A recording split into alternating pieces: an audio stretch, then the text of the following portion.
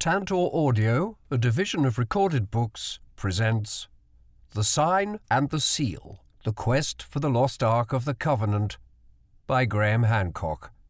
Narrated by Steven Crossley. Chapter 1 Initiation 1983 It was growing dark, and the air of the Ethiopian highlands was chill when the monk appeared. Stooped and leaning on a prayer stick, he shuffled towards me from the doorway of the sanctuary chapel and listened attentively as I was introduced to him.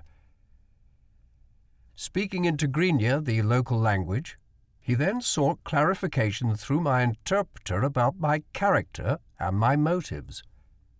From which country had I come? What work did I do there? Was I a Christian? What was it that I wanted from him? As I answered each of these questions fully, squinting through the gloom as I talked, trying to make out the details of my inquisitor's face, milky cataracts veiled his small sunken eyes and deep lines furrowed his black skin. He was bearded and probably toothless, for although his voice was resonant, it was also oddly slurred. All I could be sure of, however, was that he was an old man, as old as the century perhaps, that he had his wits about him, and that he did not seem to be seeking information about me out of idle curiosity. Only when he was satisfied with everything that I had said did he condescend to shake hands with me. His grip was dry and delicate as papyrus, and from the thick robes that he wore, faint but unmistakable arose the holy odour of frankincense. Now that the formalities were over, I got straight to the point. Gesturing in the direction of the building that loomed in shadowy outline behind us, I said, I have heard of an Ethiopian tradition that the Ark of the Covenant is kept here, in this chapel. I have also heard that you are the guardian of the Ark. Are these things true? They are true. But in other countries nobody believes these stories. Few know about your traditions anyway, but those who do say that they are false. People may believe what they wish. People may say what they wish. Nevertheless, we do possess the sacred tablet, that is to say, the Ark of the Covenant, and I am its guardian. Let me be clear about this, I interjected. Are you referring to the original Ark of the Covenant, the box made of wood and gold in which the Ten Commandments were placed by the prophet Moses? Yes. God himself inscribed the ten words of the law upon two tablets of stone. Moses then placed these tablets inside the Ark of the Covenant, which afterwards accompanied the Israelites during their wanderings in the wilderness and their conquest of the Promised Land. It brought them victory wherever they went and made them a great people. At last, when its work was done, King Solomon placed it in the Holy of Holies of the temple that he had built in Jerusalem, and from there, not long afterwards, it was removed and brought to Ethiopia. Tell me how this happened, I asked. What I know of your traditions is only that the Queen of Sheba is supposed to have been an Ethiopian monarch. The legends I have read say that when she made her famous journey to Jerusalem, she was impregnated by King Solomon and bore him a son, a royal prince, who, in later years, stole the ark. The monk sighed. The name of the prince you are speaking of was Menelik, which in our language means the son of the wise man.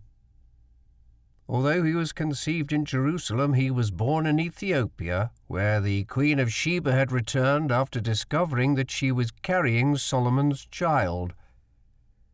When he had reached the age of twenty, Menelik himself travelled from Ethiopia to Israel and arrived at his father's court.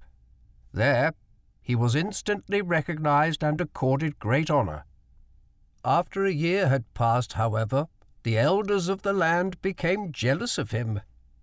They complained that Solomon showed him too much favor, and they insisted that he must go back to Ethiopia.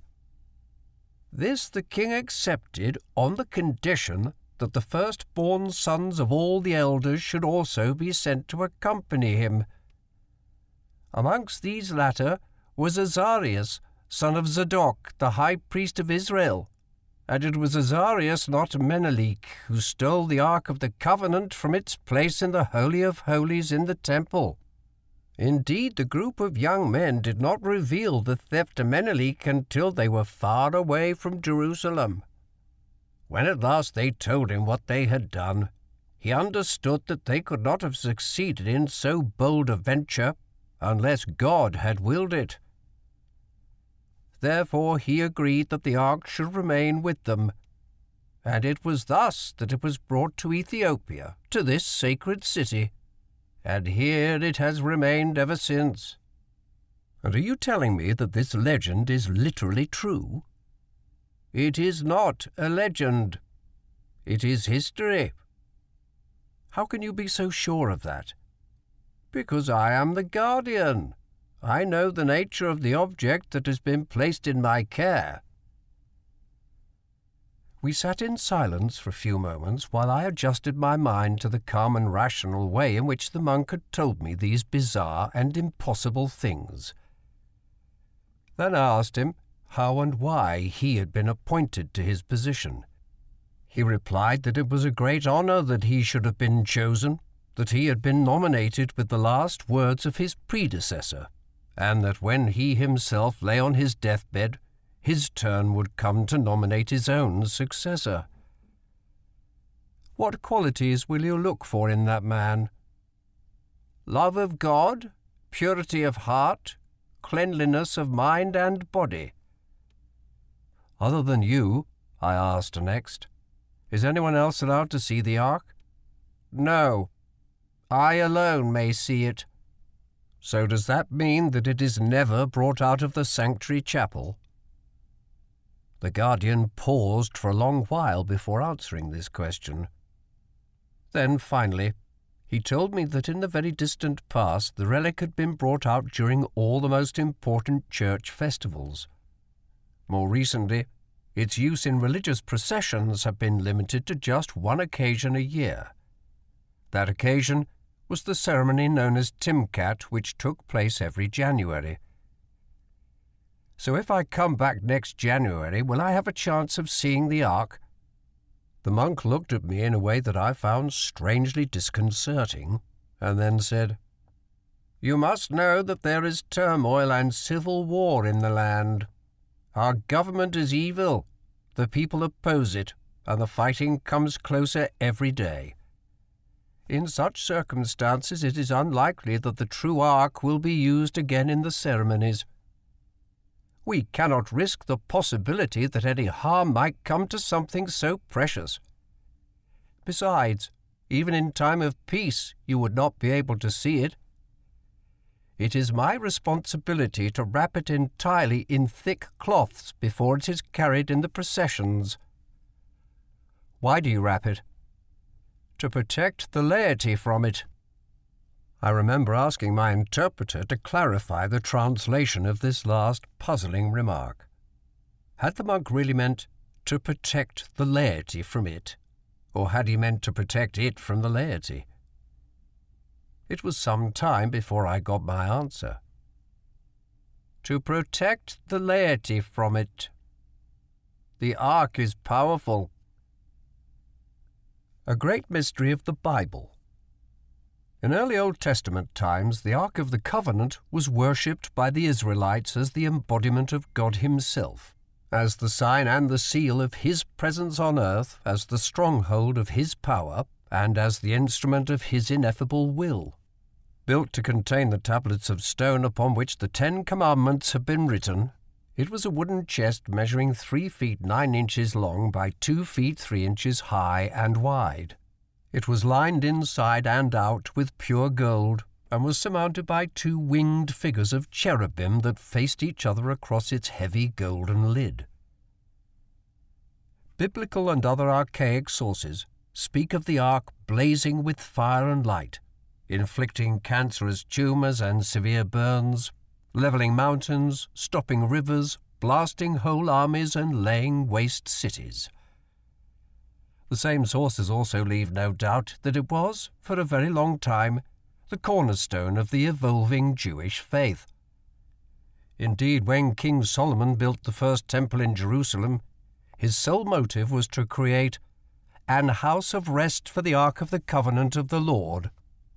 At some unknown date between the 10th and the 6th century BC, however, this uniquely precious and puissant object vanished from its place in the Holy of Holies of that temple, vanished without song or lamentation in the Scriptures, almost as though it had never existed at all.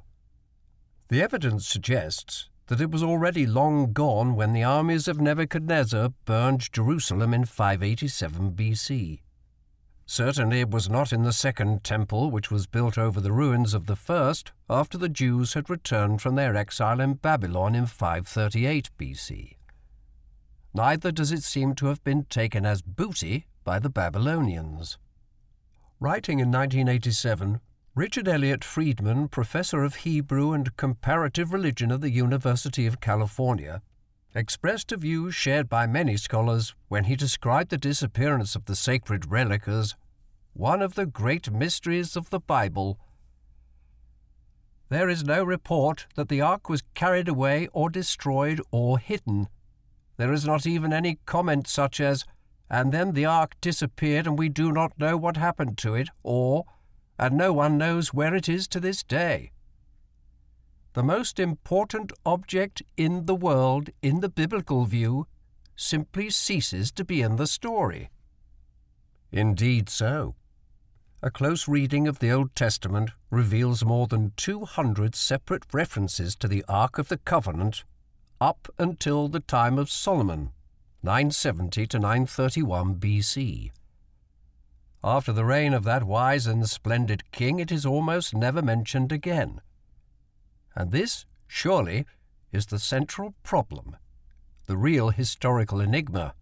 Not human nature being what it is, that an immensely valuable golden chest should go missing, but, given its supreme religious significance, that it should go missing amid such a deafening, improbable silence. Like a black hole in space, or a negative photographic image. It is identifiable in the later books of the Old Testament only by what it is not. It is, in short, conspicuous only by its absence. From this, it seems reasonable to suggest that some sort of cover up may have taken place. A cover up devised by priests and scribes to ensure that the whereabouts of the sacred relic would remain forever a secret. If so, then it is a secret that many have tried to penetrate, a secret that has inspired several treasure hunting expeditions, all of which have failed, and also one enormously successful Hollywood fantasy, Raiders of the Lost Ark, which was first released in the USA and Europe in 1981 with Harrison Ford in the starring role as Indiana Jones.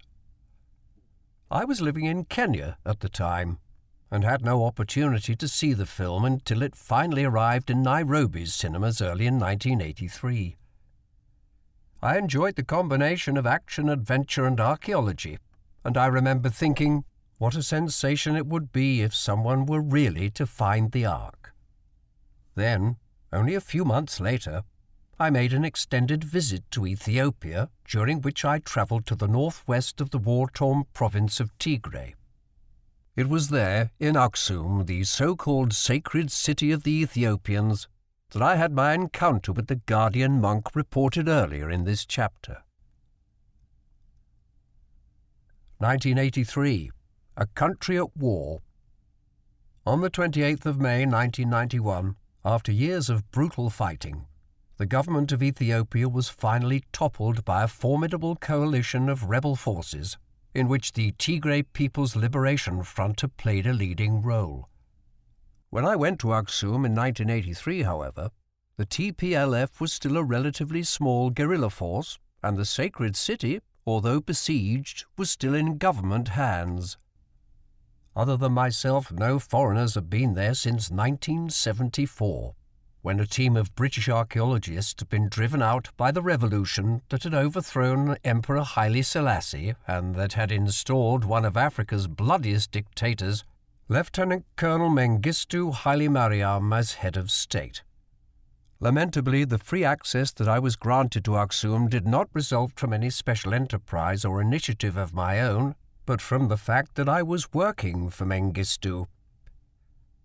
As a result of a business deal that I was later bitterly to regret, I was engaged in 1983 in the production of a coffee table book about Ethiopia, a book that Mengistu's government had commissioned in order to proclaim the underlying unity in the country's cultural diversity and to emphasize the ancient historical integrity of the political boundaries that the rebels were trying so hard to redraw. It had been agreed before I began work that there would be no overt promotion of the government's cause, and it was written into my contract that no particular individuals, Mengistu included, would be praised or vilified. Nevertheless, I was under no illusions about how the project was viewed by senior figures in the regime. They would not have footed the bills or permitted me to visit historic sites forbidden to others if they did not think that what I was doing would be helpful to them. Even so, it was by no means easy for me to get to Aksum. Intense rebel activity along the main roads and around the sacred city itself meant that driving was completely out of the question. The only option, therefore, was to fly in.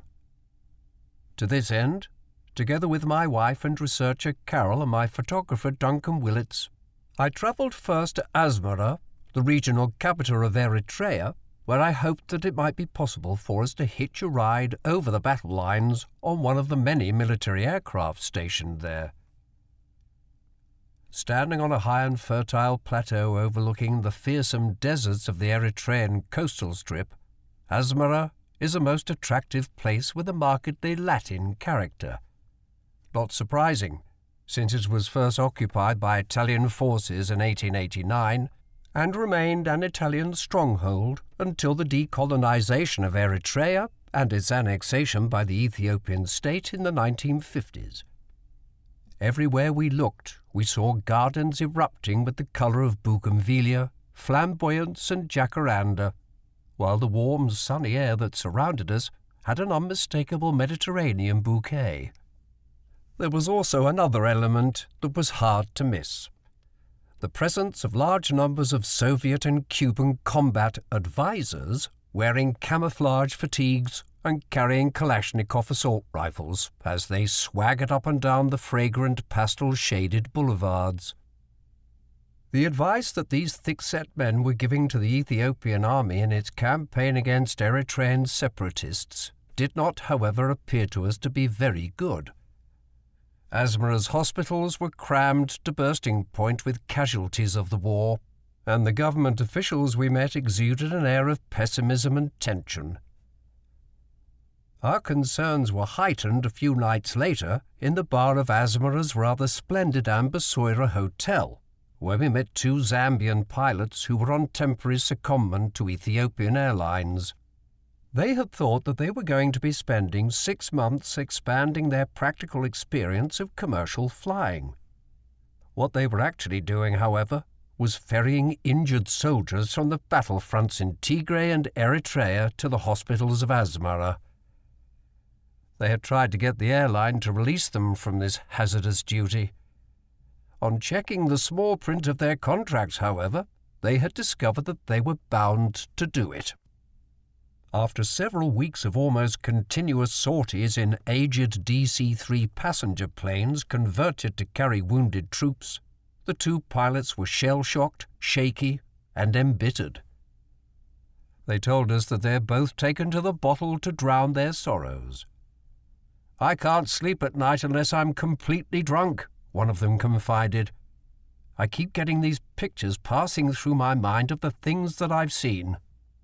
He went on to describe the teenage boy who that morning had been dragged aboard his aircraft with his left foot blown away by a mine, and another young soldier who had lost half his skull after a mortar bomb had exploded nearby. The shrapnel wounds are the worst. People with huge injuries in their backs, stomachs, faces. It's horrible. Sometimes the whole cabin is just swilling with blood and guts We carry as many as 40 casualties at a time, way above the operating limits of a DC 3. But we have to take the risk. We can't just leave those people to die. They were required to fly three, sometimes four missions each day, the other pilot now added. In the past week, he had been twice to Aksum, and on both occasions his plane had been hit by machine gun fire. It's a very difficult airport, a gravel runway surrounded by hills. The TPLF just sit up there and take pot shots at us as we land and take off. They're not fooled by the Ethiopian Airlines livery. They know we're on military business. Overjoyed to have found some sympathetic non Russian and non Cuban foreigners to share their woes with, the Zambians had not yet asked us what we were doing in Ethiopia. They did so now, and seemed highly amused when we replied that we were producing a coffee table book for the government. We then explained that we needed to get to Aksum ourselves. Why? they asked, dumbfounded. Well, because it's one of the oldest and most important archaeological sites, and because it was there that Ethiopian Christianity first got started. It was the capital for hundreds of years. Our book's going to look really sick without it. We might be able to take you, one of the pilots now suggested. What? You mean when you next go to pick up wounded? No. You definitely wouldn't be allowed on those flights. But a delegation of military top brass is supposed to be going there the day after tomorrow to inspect the garrison. Maybe you could hitch a ride then. It would depend on what sort of strings you're able to pull back in Addis. Why don't you check it out? Into Aksum. We spent most of the next day on the telephone to Addis Ababa talking to the minister directly responsible for our project. It was touch and go, but his influence finally did get us seats on the flight that our Zambian friends had told us about. In the event, however, they were not to be our pilots, a fully Ethiopian crew was on board the DC-3 for the short hop to Aksum. During the one-hour delay before our morning takeoff from Asmara Airport, and during the turbulent 35-minute journey itself, I completed my background reading, reassuring myself in the process that the visit really was worthwhile. The early historical references painted a picture of an important and cosmopolitan urban centre in AD 64, for example, the anonymous author of a Greek trading manual known as the Periplus of the Erythraean Sea had referred to the Aksumite ruler as being a prince superior to most and educated with the knowledge of Greek. Some hundreds of years later, a certain Julian, ambassador of the Roman Emperor Justinian, described Aksum in glowing terms as the greatest city of all Ethiopia. The king, he added, was almost naked, wearing only a garment of linen embroidered with gold from his waist to his loins, and straps set with pearls over his back and stomach. He wore golden bracelets on his arms, a golden collar around his neck, and on his head a linen turban, also embroidered with gold, from which hung four fillets on either side. When receiving the ambassador's credentials, this monarch apparently stood on a four-wheeled chariot drawn by four elephants. The body of the chariot was high and covered with gold plates. In the 6th century AD, a much-travelled Christian monk, Cosmas Indicopleustes, added further colour to the impression conveyed by Julian.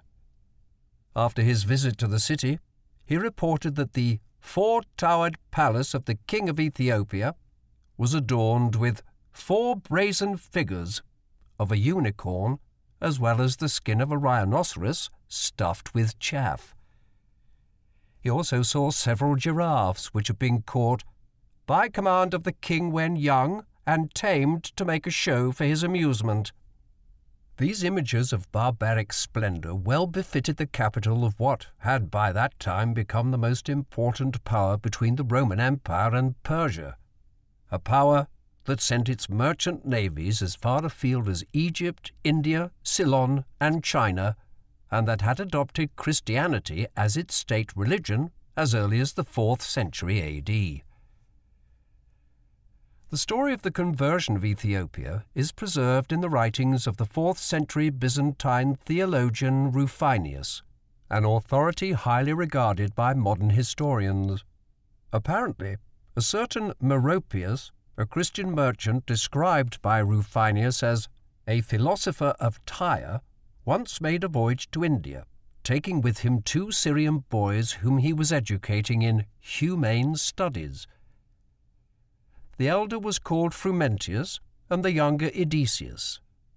On their return journey through the Red Sea, the ship was seized off the Ethiopian coast in an act of reprisal against the Eastern Roman Empire, which had broken a treaty with the people of the area. Meropius was killed in the fighting. The boys, however, survived and were taken to the Aksumite king Elamida, who promptly made Edesius his cupbearer and Frumentius, the more sagacious and prudent of the two, his treasurer and secretary. The boys were held in great honour and affection by the king, who, however, died shortly afterwards leaving his widow and an infant son, Ezana, as his heir. Before his death, Elamida had given the two Syrians their freedom, but now the widowed queen begged them with tears in her eyes to stay with her until her son came of age. She asked in particular for the help of Frumentius, for Edesius, though loyal and honest at heart, was simple during the years that followed, the influence of Frumentius in the Aksumite kingdom grew. He sought out such foreign traders who were Christians and urged them to establish conventicles in various places to which they might resort for prayer. He also provided them with whatever was needed, supplying sites for buildings and in every way promoting the growth of the seed of Christianity in the country at around the time that Ezana finally ascended to the throne, Edesius returned to Tyre. Frumentius, for his part, journeyed to Alexandria in Egypt, then a great centre of Christianity, where he informed Patriarch Athanasius of the work so far accomplished for the faith in Ethiopia. The young man begged the ecclesiastical leader to look for some worthy man to send as bishop over the many Christians already congregated Athanasius, having carefully weighed and considered the words of Frumentius, declared in a council of priests, What other man shall we find in whom the Spirit of God is as in thee who can accomplish these things? He therefore consecrated him and bade him return in the grace of God whence he came. Frumentius accordingly went back to Aksum as Ethiopia's first Christian bishop and there he continued his missionary endeavours, which were rewarded in the year AD 331 by the conversion of the king himself. The surviving coins of Azana's reign record the transition. The earlier ones bear crescent and disk images of the new and full moon. Later examples are stamped uncompromisingly with the cross, amongst the earliest coins of any country to carry this Christian symbol important as the seedbed of Ethiopian Christianity, and as the capital of the Ethiopian Empire from the 1st until approximately the 10th century AD, Aksum's interest in terms of our project was nevertheless much broader than this. Here, I read, we would come across many imposing pre-Christian ruins of great archaeological merit, including the remains of several immense palaces, and also, still well preserved, the monuments for which the city was best known. Its ancient obelisks, some more than 2,000 years old, attesting to a high level of advancement in art and architecture at a date far earlier than that of any other civilization in sub-Saharan Africa. Nor were such physical artifacts the only witnesses to Aksum's unique stature.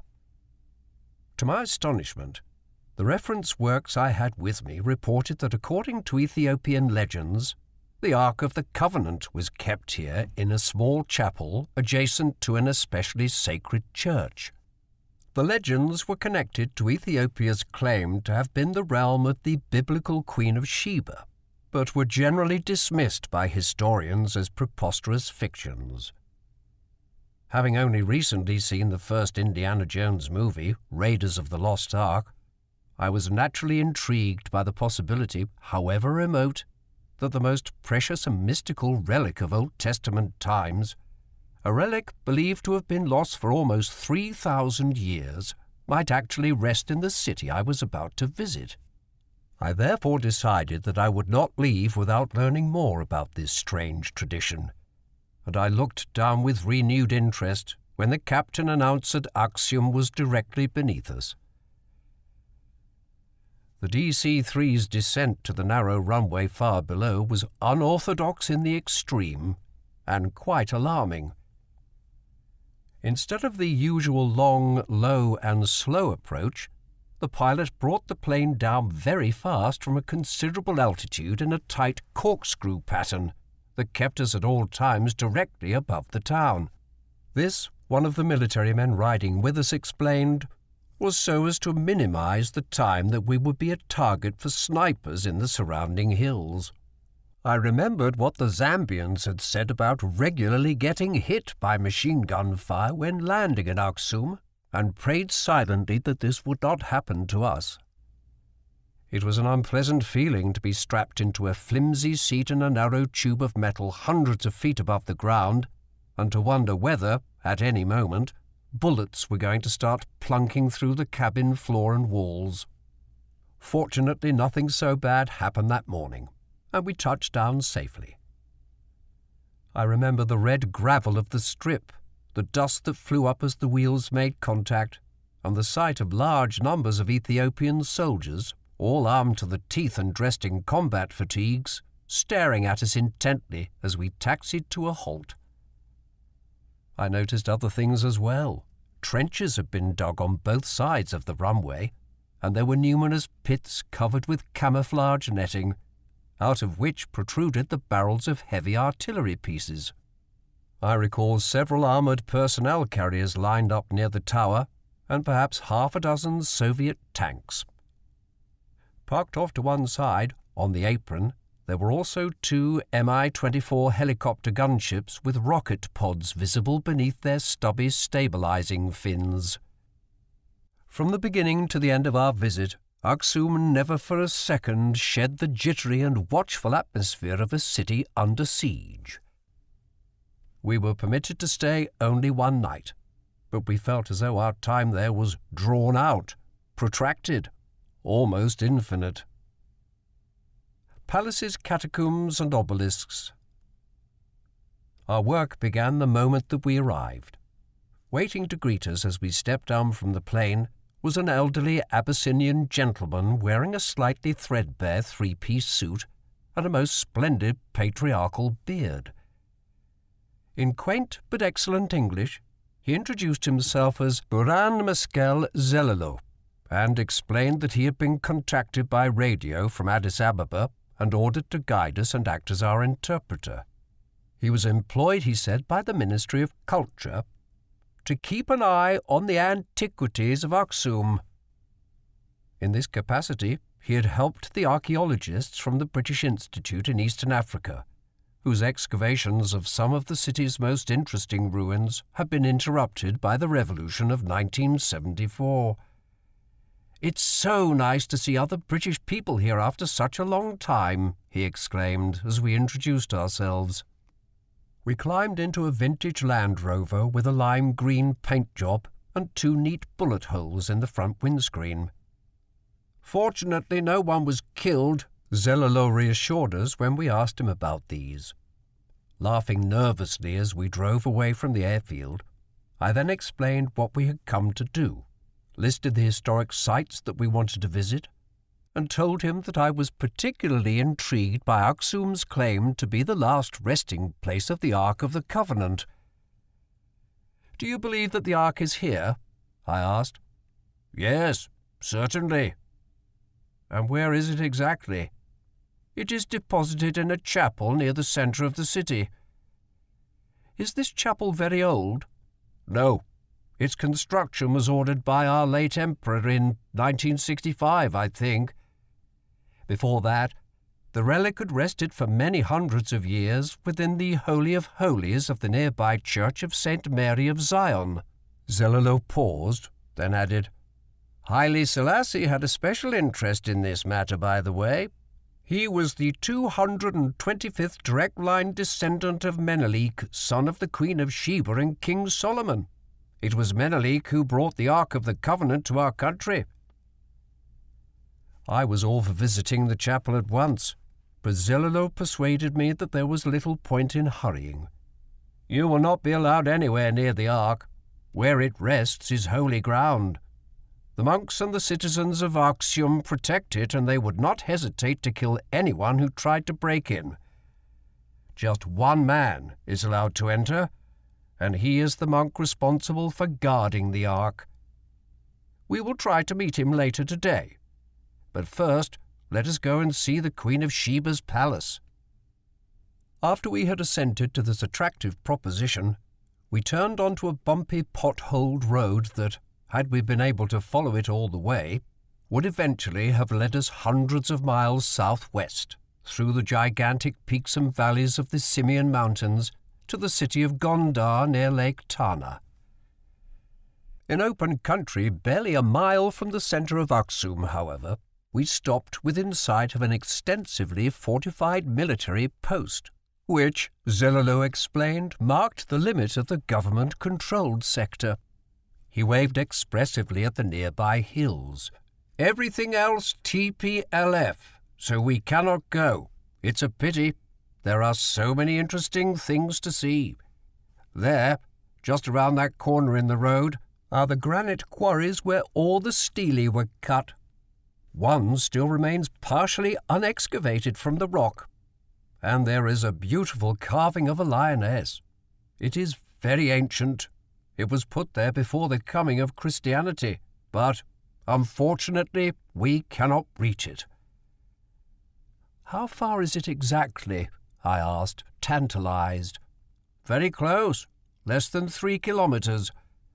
But the military will not let us pass the checkpoint, and if they did, we would certainly be taken by the guerrillas. Even here we should not stand around for too long. Your foreign faces will be noticed by the TPLF snipers. They might think you are Russians and decide to shoot at you. He laughed. That would be highly undesirable, would it not? Come, follow me. He led the way into fields to the north of the road, and we quickly began to stumble across the remains of what must once have been an imposing building. This was the Queen of Sheba's palace, Zelelew announced proudly. According to our traditions, her name was Makeda, and Aksum was her capital. I know that foreigners do not accept that she was an Ethiopian at all. Nevertheless, no other country has a stronger claim than ours. I asked whether any archaeology had ever been done on the site to test the legends. Yes, in the late 1960s, the Ethiopian Institute of Archaeology conducted some excavations here. I helped on the dig. And what was discovered? Zelelew made a mournful face. The opinion was that the palace was not sufficiently old to have been the residence of the Queen of Sheba. What the archaeologists had unearthed and what we now spent some time exploring were the ruins of a great and well-built edifice with finely mortared stone walls, deep foundations, and an impressive drainage system. We saw a still intact flagstone floor, which Zelelew claimed was a large throne room, and a number of stairwells which hinted at the existence of at least one upper story. There were also private bathing areas of sophisticated design and a well-preserved kitchen dominated by two brick ovens. Across the road in a field facing the palace, we then inspected a number of rough-hewn granite stele, some standing more than 15 feet high, some fallen and broken. Most were undecorated, but one, the largest, was carved with four horizontal bands, each band topped by a row of circles in relief, like protruding beam ends in a building made of wood and stone. This crude obelisk, Zelelew told us, was thought by the townspeople to mark the grave of the Queen of Sheba. No excavation work had been carried out beneath it, however, and the field was now entirely given over to farmers who grew crops for the Aksum garrison. Even as we talked, we saw two peasant boys approach with an ox, which they harnessed to a wooden plough. Oblivious to the history that lay all around them, and apparently indifferent to our presence as well, they began to till the soil. After we had finished taking pictures and notes, we drove back into the centre of the city and then out again to the northeast, to another palace complex, this one on a hilltop with commanding views of the whole area. Square in plan, the structure measured about 200 feet on each side. The walls, which had long since crumbled, showed signs of having originally been projected at the corners to form four towers, possibly the very towers which, in the sixth century, the monk Cosmas had described as being adorned with brass unicorns. Beneath the fortress, Zelelew then led us down steep stone stairways into a number of underground galleries and chambers, which were roofed and walled with massive dressed granite blocks that fitted precisely against one another without any mortar in the joints. Local tradition, he said, identified this cool, dark warren as the treasury used by Emperor Caleb, AD 514 to 542, and also by his son Gebra. With the aid of a flashlight, we saw the empty stone coffers which lay within, coffers believed to have once contained great riches in gold and pearls. Further rooms, as yet unexcavated, extended into the hillside from there, blocked off behind thick granite walls. Eventually we left the hilltop fortress and made our way down into the centre of Aksum on a gravel road. Near the bottom of the gradient, to our left, we paused to photograph a large open deep water reservoir dug down into the red granite of the hillside and approached by means of rough-hewn stairways. Known as the Mai Shum, it seemed to us very old, an impression that Zelelew confirmed when he remarked that it was originally the Queen of Sheba's pleasure bath.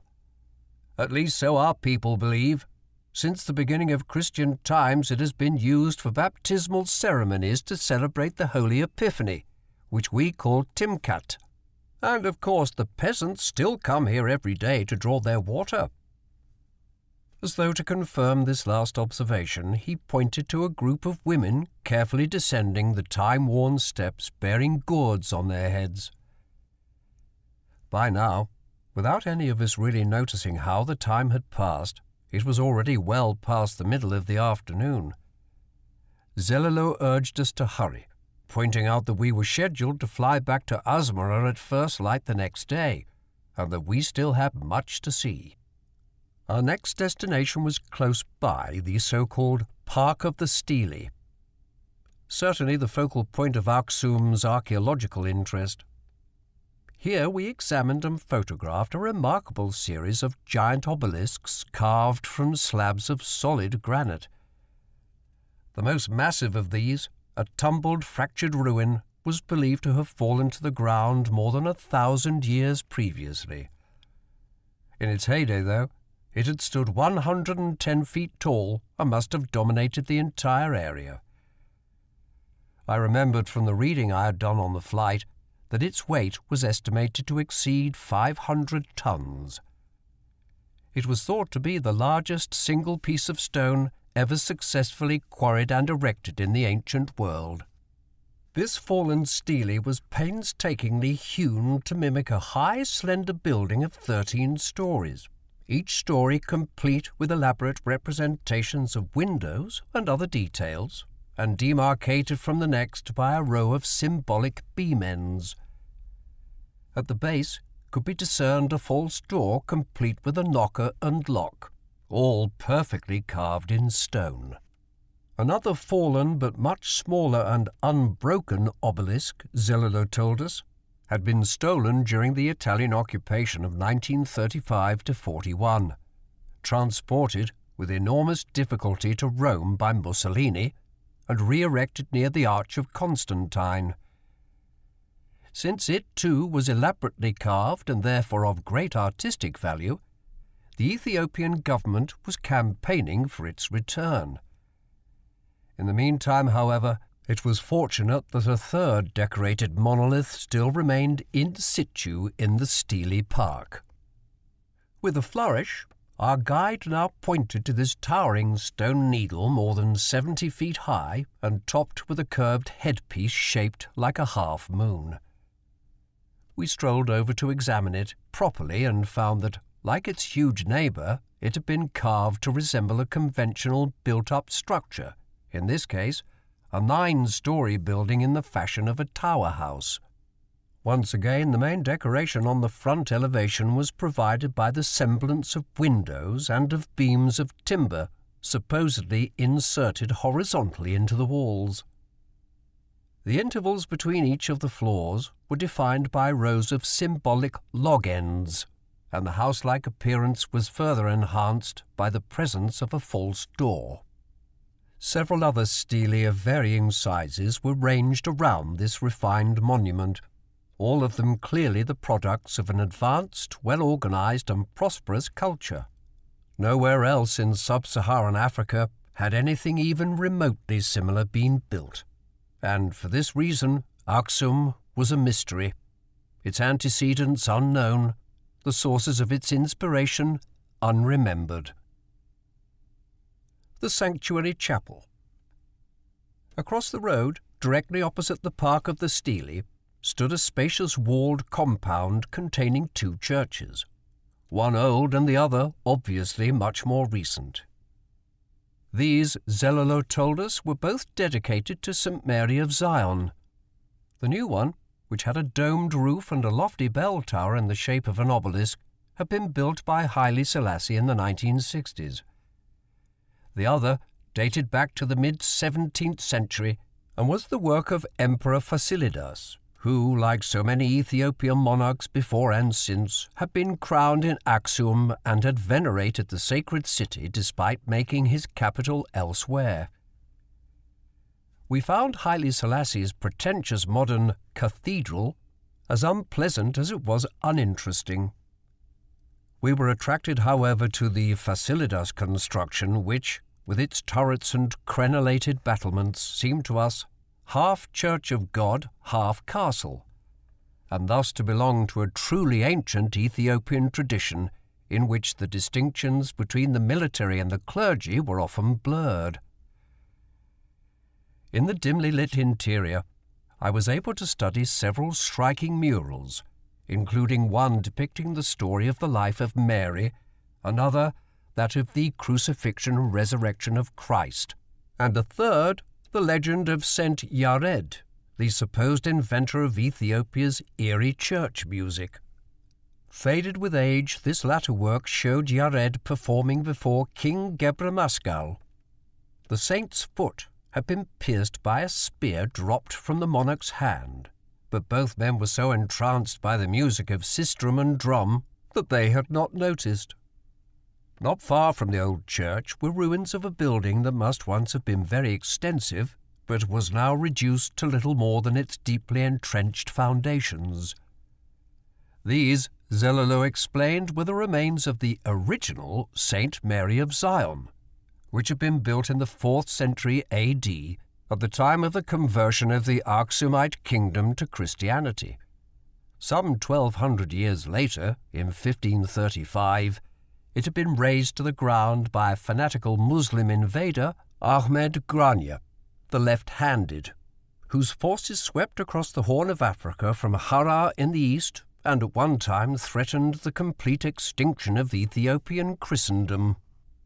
Shortly before its destruction, this first St. Mary's, as Zelelew called it, was visited by an itinerant Portuguese friar named Francisco Alvarez.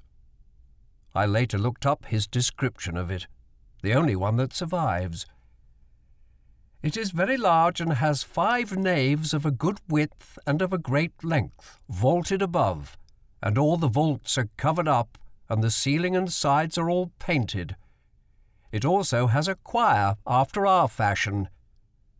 This noble church has a very large circuit paved with flagstones like gravestones, and it has a large enclosure and is surrounded by another large enclosure like the wall of a large town or city. Zelelew rightly dated the start of construction works on the first St Mary's at AD 372, which meant that this was quite possibly the earliest Christian church in sub-Saharan Africa. A great five-aisled basilica, it was regarded from its inauguration as the most sacred place in all Ethiopia. This was so because it was built to house the Ark of the Covenant, which, if there was any truth to the legends, must have arrived in the country long before the birth of Jesus, and must then have been co opted by the Christian hierarchy at some point after the new religion had been officially adopted by the Aksumite state. When Alvarez visited St. Mary's in the 1520s, becoming in the process the first European to document the Ethiopian version of the legend of the Queen of Sheba and the birth of her only son Menelik, the ark was still in the Holy of Holies of the ancient church. It did not stay there for very much longer, however. In the early 1530s, with the invading armies of Ahmed Gragn drawing ever closer, the sacred relic was removed to some other place of safekeeping. Zelelew did not know where. It thus escaped the destruction and looting that the Muslims unleashed upon Aksum in 1535. A hundred years later, with peace restored throughout the empire, the Ark was brought back in triumph and installed in the second St. Mary's, built by Fasilidas beside the razed remains of the first. And there, apparently, it stayed until 1965 when Haile Selassie had it moved to the new and more secure chapel put up at the same time as his own grandiose cathedral but annexed to the 17th century church. It was in the grounds of Haile Selassie's chapel that the guardian monk told me his astonishing story about the Ark and warned me that it was powerful. How powerful? I asked. What do you mean? The guardian's posture stiffened, and he seemed suddenly to grow more alert. There was a pause. Then he chuckled and put a question to me. Have you seen the Stele? Yes, I replied. I have seen them. How do you think they were raised up? I confess that I did not know. The ark was used, whispered the monk darkly the ark and the celestial fire. Men alone could never have done such a thing. On my return to the Ethiopian capital, Addis Ababa, I took the opportunity to conduct some research into the historical merits of the legend that the Guardian had related to me. I wanted to find out whether there was any possibility at all that the Queen of Sheba could have been an Ethiopian monarch.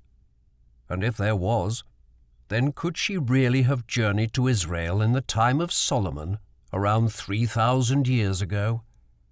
Could she have been impregnated by the Jewish king? Could she have borne him a son named Menelik? Most importantly, could that son have made his way to Jerusalem as a young man, spent a year there at his father's court, and then returned to Aksum with the Ark of the Covenant? Chapter 2 Disenchantment Questions of the kind that I needed to ask in order to evaluate Aksum's claim to be the last resting place of the Ark of the Covenant were not entirely welcome in Addis Ababa in 1983. There was still a certain amount of revolutionary jingoism in the air less than nine years after Haile Selassie had been overthrown, and less than eight after he had been smothered with a pillow by the man who had engineered his downfall, Lieutenant Colonel Mengistu Haile Mariam. Mistrust, hatred, and rank fear could also be detected everywhere. People remembered bitterly the period in the late 1970s when Mengistu's forces had unleashed the Red Terror against those seeking to restore the monarchy. State-sponsored death squads had roamed the streets, rooting out suspects from their homes and executing them on the spot. The families of the victims of these purges had then had to reimburse the cost of the bullets used to kill their relatives before they were allowed to claim back the bodies for burial. It was in the emotional climate fostered by such atrocities that I was obliged to conduct my preliminary research into a subject that had explicit connections with Ethiopia's last emperor and with the Solomonic dynasty to which he had belonged. Just how close these connections in fact were was made clear to me when a friend passed me a samizdat copy of a document prepared at the peak of Haile Selassie's power and popularity the 1955 Revised Constitution, implemented with the intent of encouraging the modern Ethiopian to accustom himself to take part in the direction of all departments of state and to share in the mighty task which Ethiopian sovereigns have had to accomplish alone in the past this remarkable piece of legislation nevertheless contained the following unequivocal confirmation of the age-old monarchy's divine right to rule.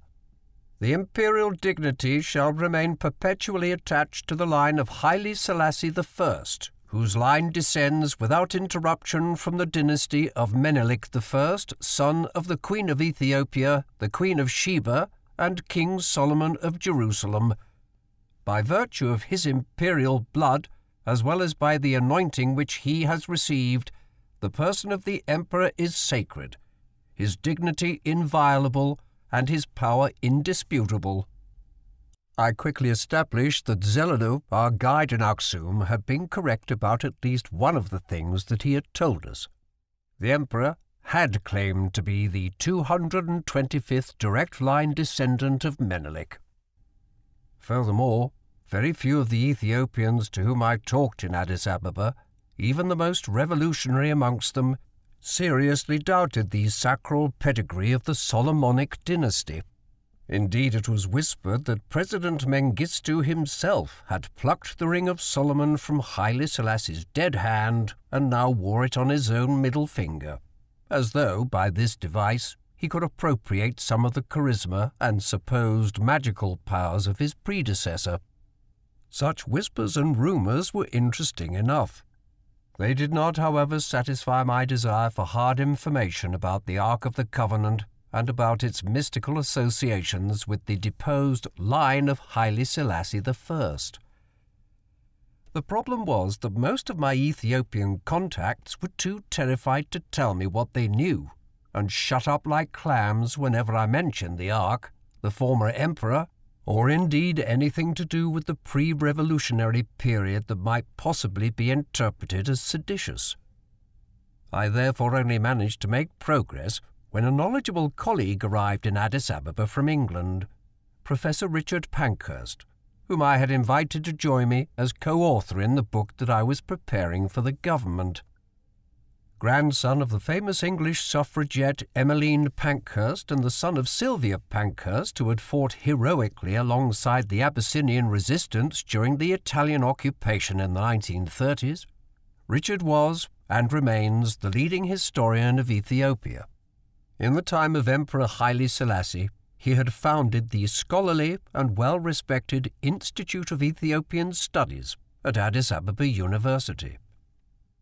Shortly after the revolution in 1974, he had left the country with his family but was now anxious to get re-involved. Our book project, therefore, suited his own requirements well, and he had taken a few days off from his work at the Royal Asiatic Society in London in order to discuss our collaboration on the text. A tall but rather stooped man in his late fifties, he had a diffident, almost apologetic manner, which, as I had discovered some time previously, disguised great self-confidence and a wicked sense of humour. His knowledge of Ethiopian history was comprehensive, and one of the first matters I discussed with him was the Ark of the Covenant and the seemingly far-fetched claim that it might now rest in Aksum. did he think there could be any factual basis at all to this tradition? He replied that the story of Solomon and Sheba that I had heard in the sacred city had an ancient pedigree in Ethiopia. There were many versions of it, both oral and written. Amongst the latter, the oldest still surviving was contained in a 13th century manuscript known as the Kebra Nagast, which was greatly revered, and which most Ethiopians believed to tell the truth, the whole truth, and nothing but the truth. As a historian, however, he could not accept this, particularly since the homeland of the Queen of Sheba had almost certainly been located in Arabia and not in Ethiopia at all. Nevertheless, he could not entirely dismiss the possibility that the legend might contain some scintilla of veracity. There had been well documented contacts between Ethiopia and Jerusalem in antiquity, though not as far back as the time of Solomon, and there could be no doubt that Ethiopian culture did contain a strong flavour of Judaism. This was best illustrated by the presence in the country of a group of indigenous Jews known as the Falashas who lived in the Simien Mountains to the south of Aksum and around the shores of Lake Tana. There were also certain widespread customs many of which Abyssinian Christians shared with their Falasha neighbours, which provided at least circumstantial evidence of early ties with Judaic civilization.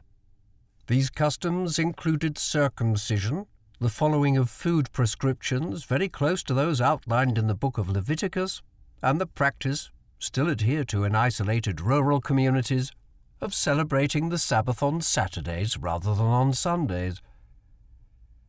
I was already aware of the existence of the Falashas and had requested, but not yet been granted, official permission to visit and photograph at least one of their villages on our next field trip, which would take us to Lake Tana and thence northwards to the city of Gondar and hopefully also to the Simien Mountains.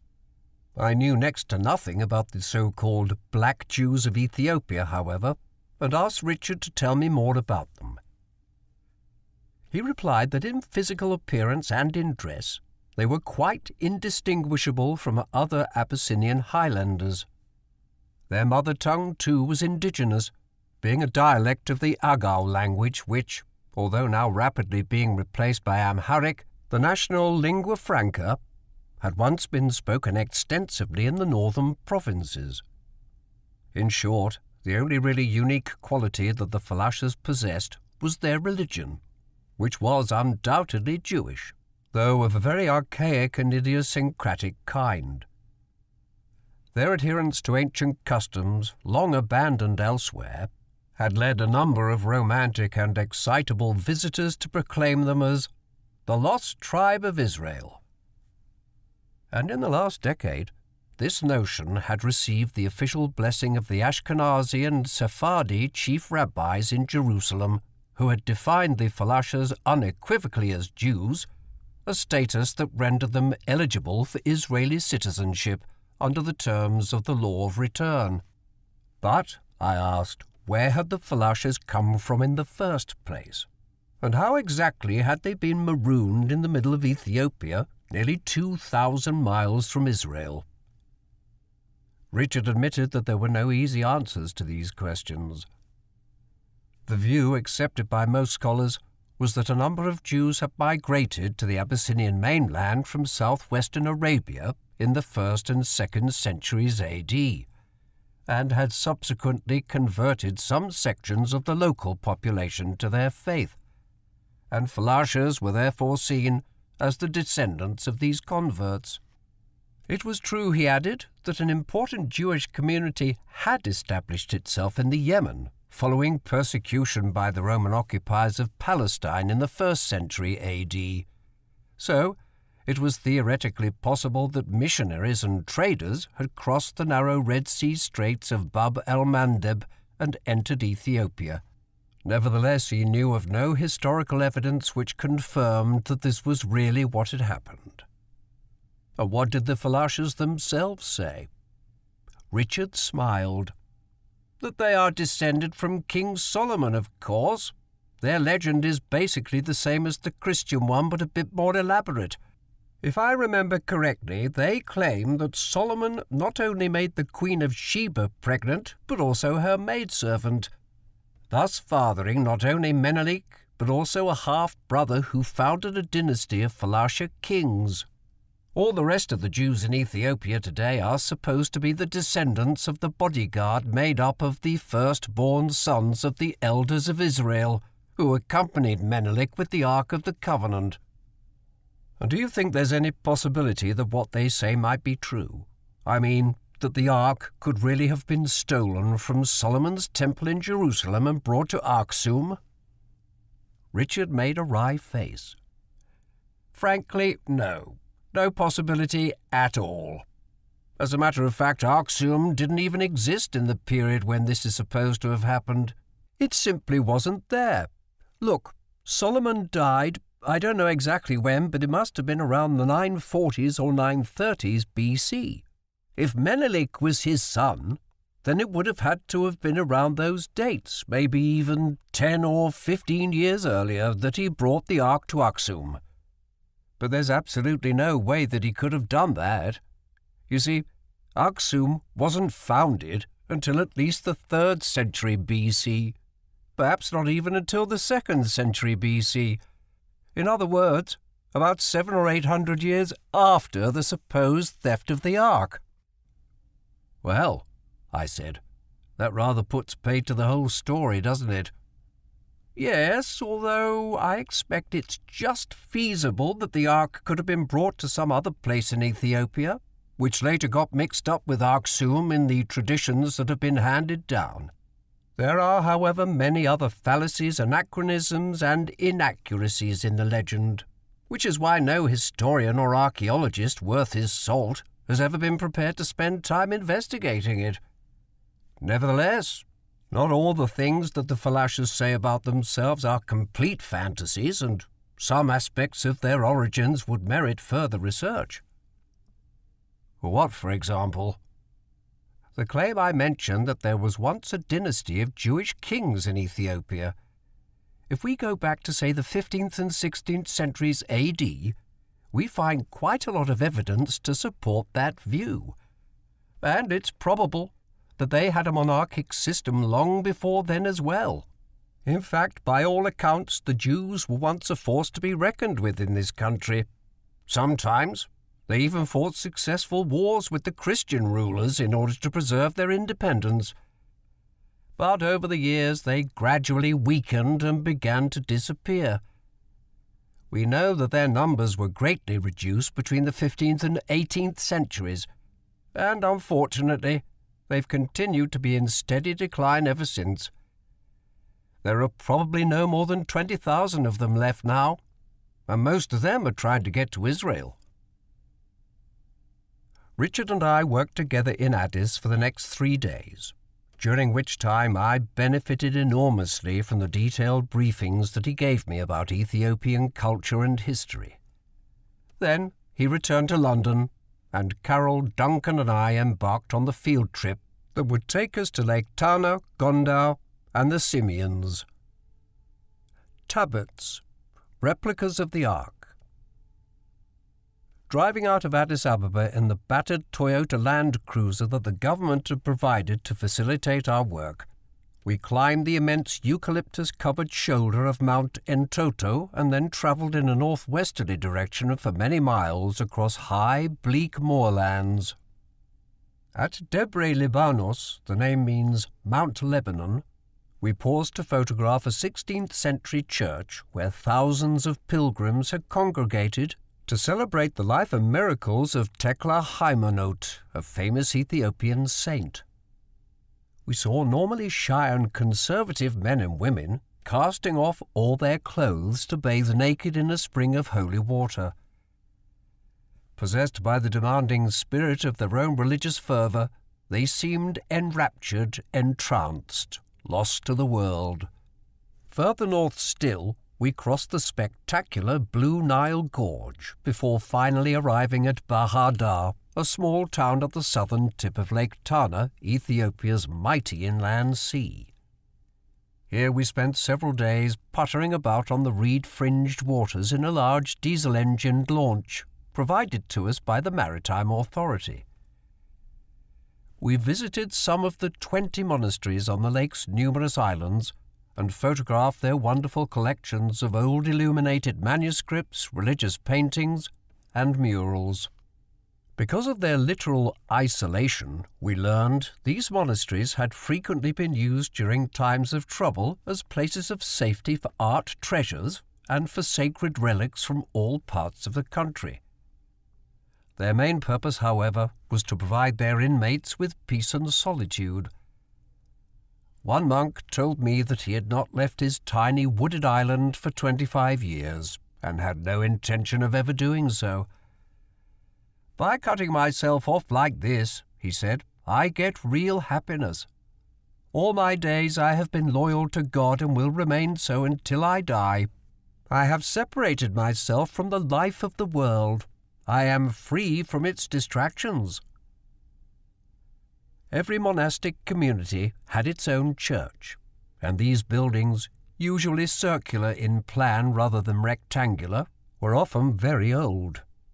Typically, they would have an outer walkway, open at the sides but covered by the projecting thatch of the roof, then an inner circuit, the Ka'ane Malut, richly decorated with paintings, then a second circuit, the Kedest, used for communion, which in turn surrounded a walled central enclosure, the Makdas, containing the Holy of Holies.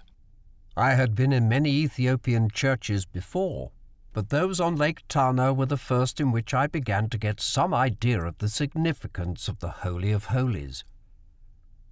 I discovered that each of these inner sanctums, which only the most senior priests could enter, contained an object regarded as being immensely sacred. Speaking through our government interpreter at the 14th century monastery of Kebran Gabriel, I asked what this sacred object was. It is the tabot, replied my informant, ninety-year-old Abba Haile Mariam. The word sounded familiar, and after a moment's reflection I remembered that I'd heard it in Aksum when I'd sat in the grounds of the sanctuary chapel talking to the guardian monk. It was the Ethiopian name for the Ark of the Covenant. What does he mean by tabot? I asked our interpreter. Does he mean the Ark of the Covenant we were just in Aksum a couple of weeks ago and we were told that the Ark was there. I paused, genuinely puzzled, then concluded rather lamely, I don't see how it can be here as well. A lengthy discussion followed, into which several of the other monks were drawn. For a while I despaired of ever learning anything of substance from these people who, quiet and withdrawn until a moment before, were now garrulous, animated, and argumentative. Eventually, however, with further probing from me and much clarification by the interpreter, a clear picture began to emerge. Every Orthodox church in Ethiopia, it seemed, had its own Holy of Holies, and in every Holy of Holies was a tabot. No claim was made that any of these objects were actually the Ark of the Covenant, there was only one true ark, and that, properly known as Tabota Zion, had indeed been brought by Menelik to Ethiopia in the time of Solomon, and now stood in the sanctuary chapel in Aksum. All the others throughout the length and breadth of the land were merely replicas of that sacred and inviolable original. These replicas, however, were important. Indeed, they were supremely important Symbolic on several levels, it appeared from what I was told that they fully embodied the intangible notion of sanctity. As Abba Haile Mariam painstakingly explained to me during our interview at Kebran Gabriel, it is the tabots rather than the churches that they stand in that are consecrated.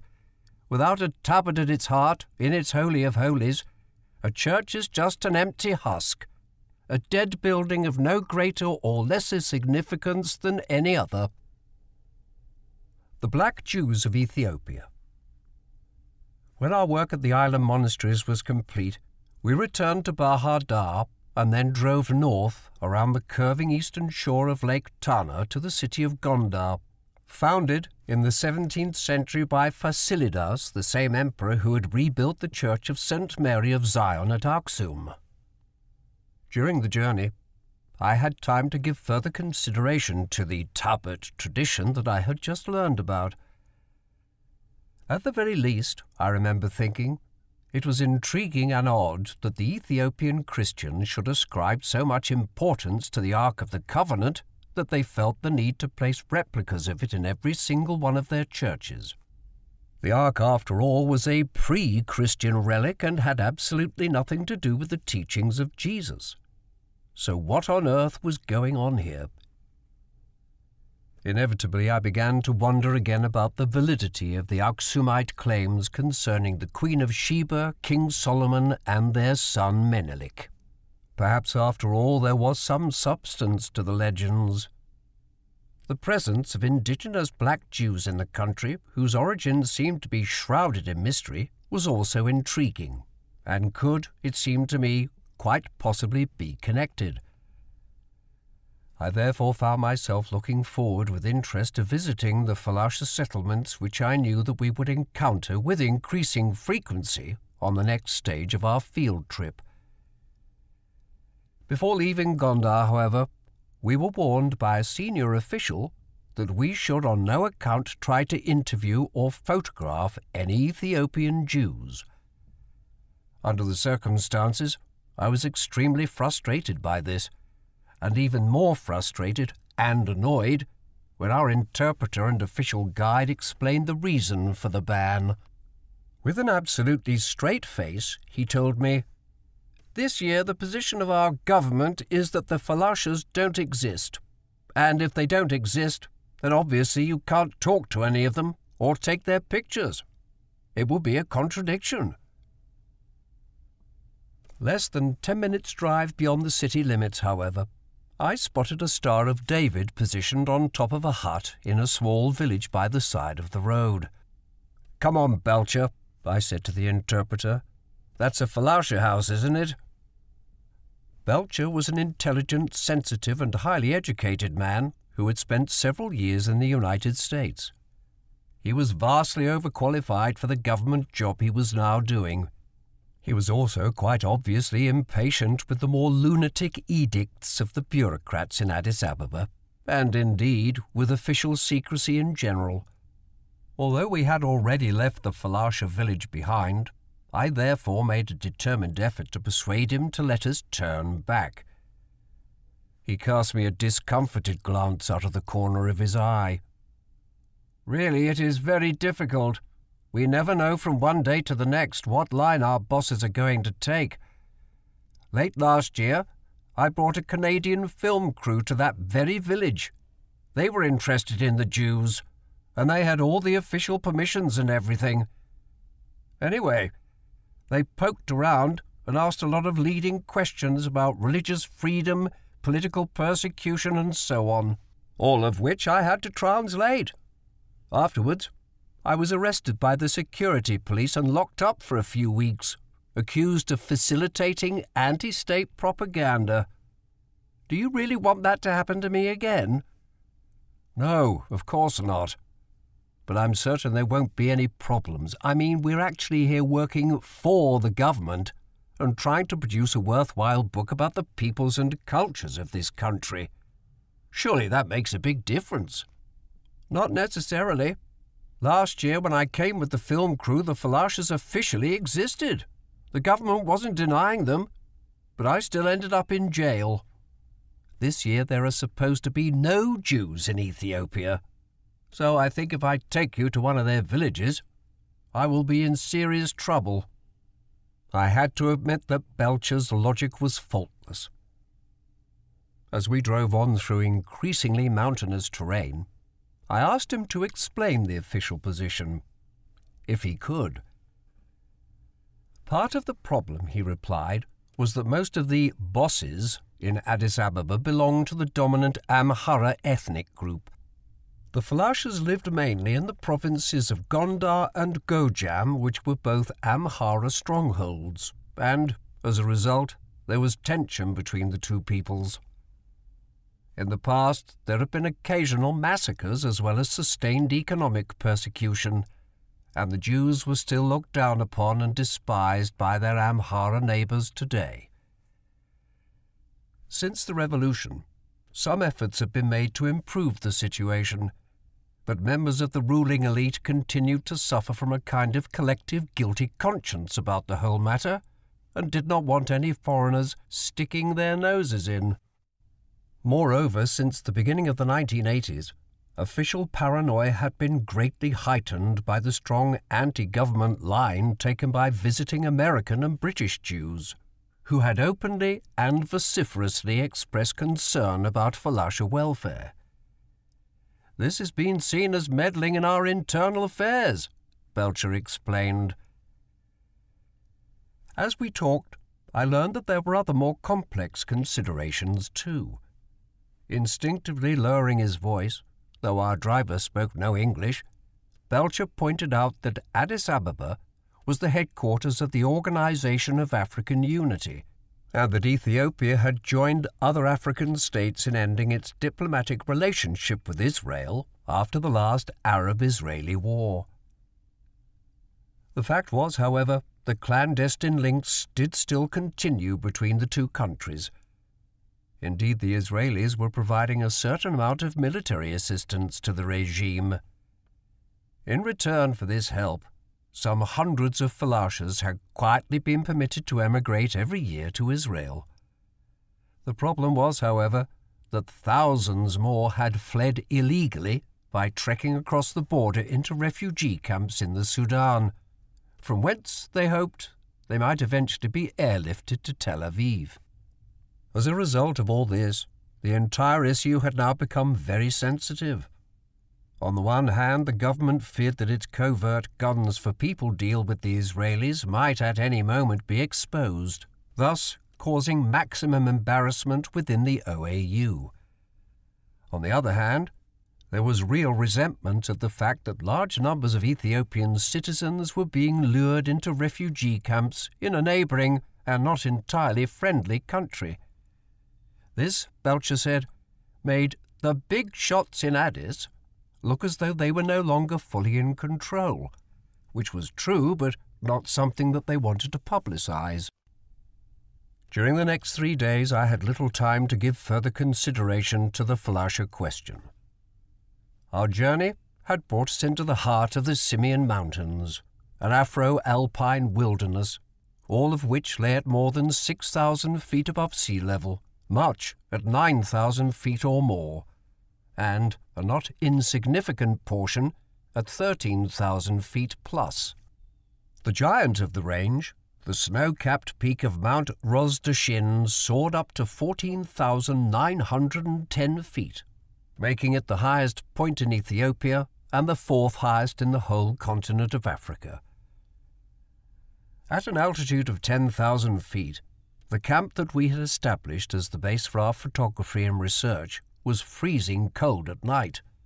So cold that we had to keep a huge fire stoked and burning.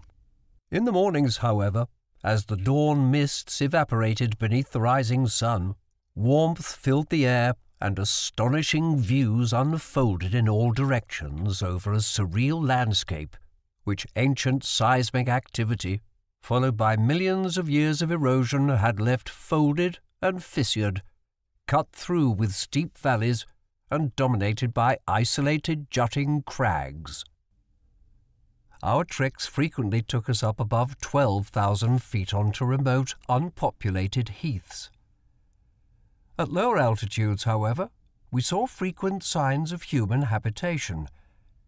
Grassy meadows that provided grazing for sheep, goats, and cattle and terraced hillsides divided into allotments and planted with cereals. Viewing these tidy small holdings, I had the sense of a very old, long established pattern of agricultural life and of a peasant culture that probably had experienced no significant change in the past century, nor even in the past millennium. There were a few Falasha communities which, at Belachew's insistence, we rigorously avoided. The majority of the population, however, were Amharas who lived not in villages but in small hamlets, usually of six houses or less, that tended to be inhabited by single extended families. Typically, their homes were circular structures with walls made of wattle and daub or sometimes of stone, and with conical thatched roofs supported by wooden poles rising through the centre. The peasants whom we met and talked to were poor, in some cases very poor indeed, and their lives were clearly ruled by the iron rods of soil and season. Nevertheless, they were also dignified and proud, and this, Belachew told us, was because they felt, with good reason, that they belonged to a master race.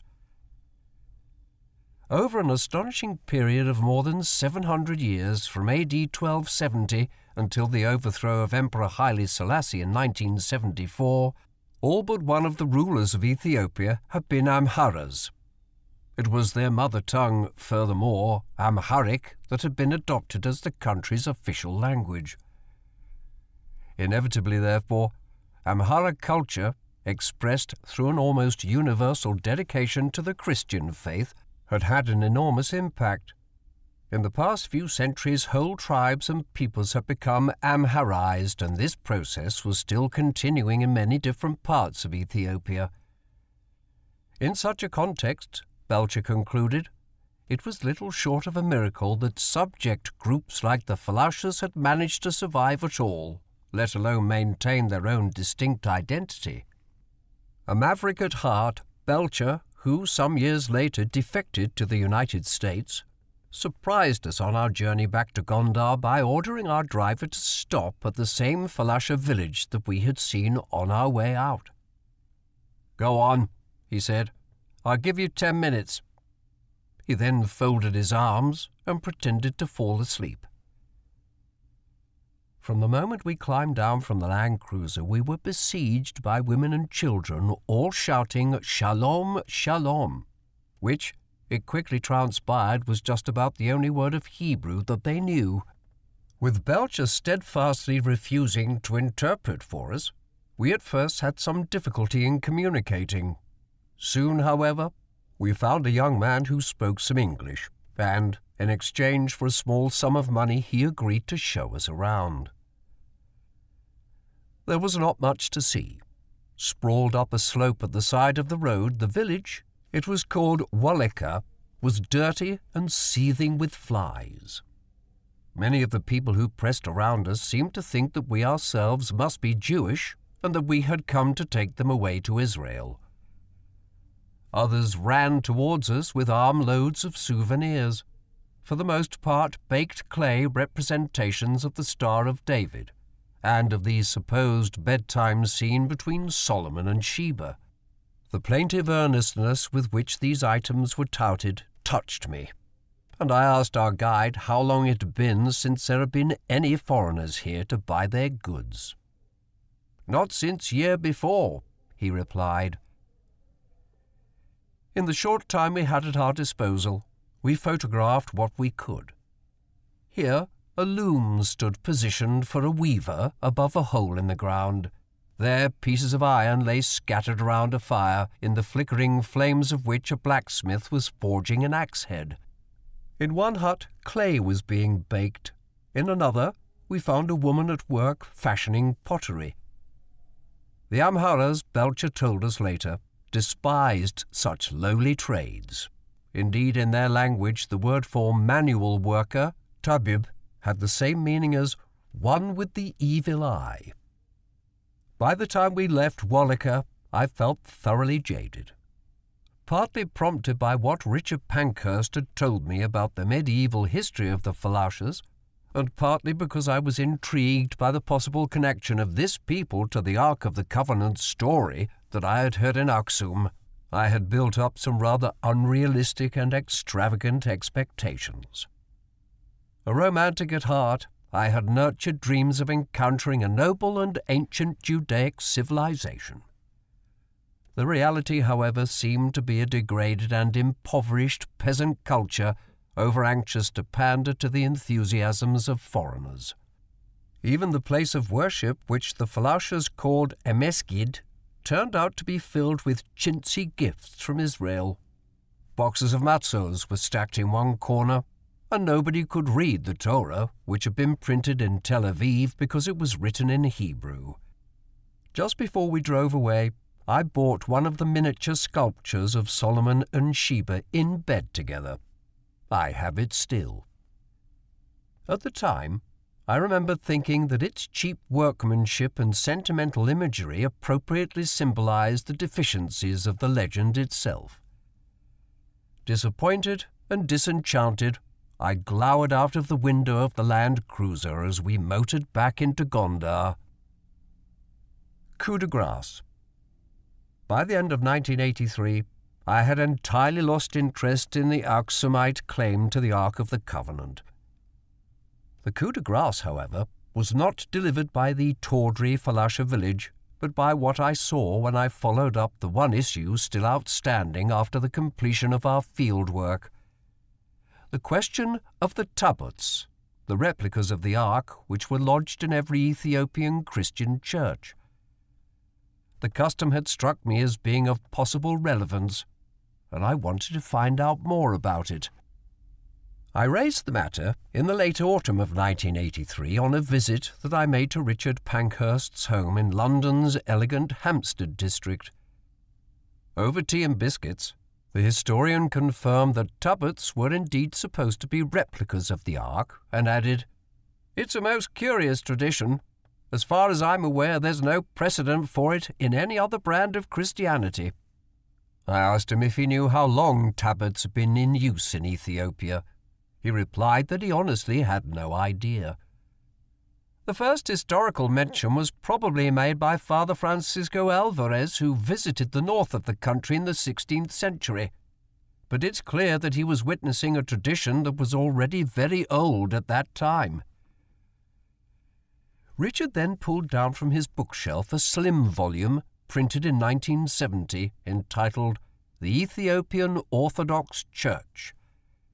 This is an official church publication, he said. Let's have a look and see if it offers any enlightenment on the subject. There was no index, but we checked first in a chapter entitled The Consecration of a Church. Here I read, The consecration of a church is a solemn and impressive ceremony with rites symbolic of the sacred uses to which the edifice is dedicated – the various parts of the service are of very ancient date. The tabot or ark previously consecrated by the patriarch is installed with grandeur and is the chief feature of the ceremony. In another chapter, Church Buildings, I came across this passage. It is the tabot which gives sanctity to the church in which it is placed.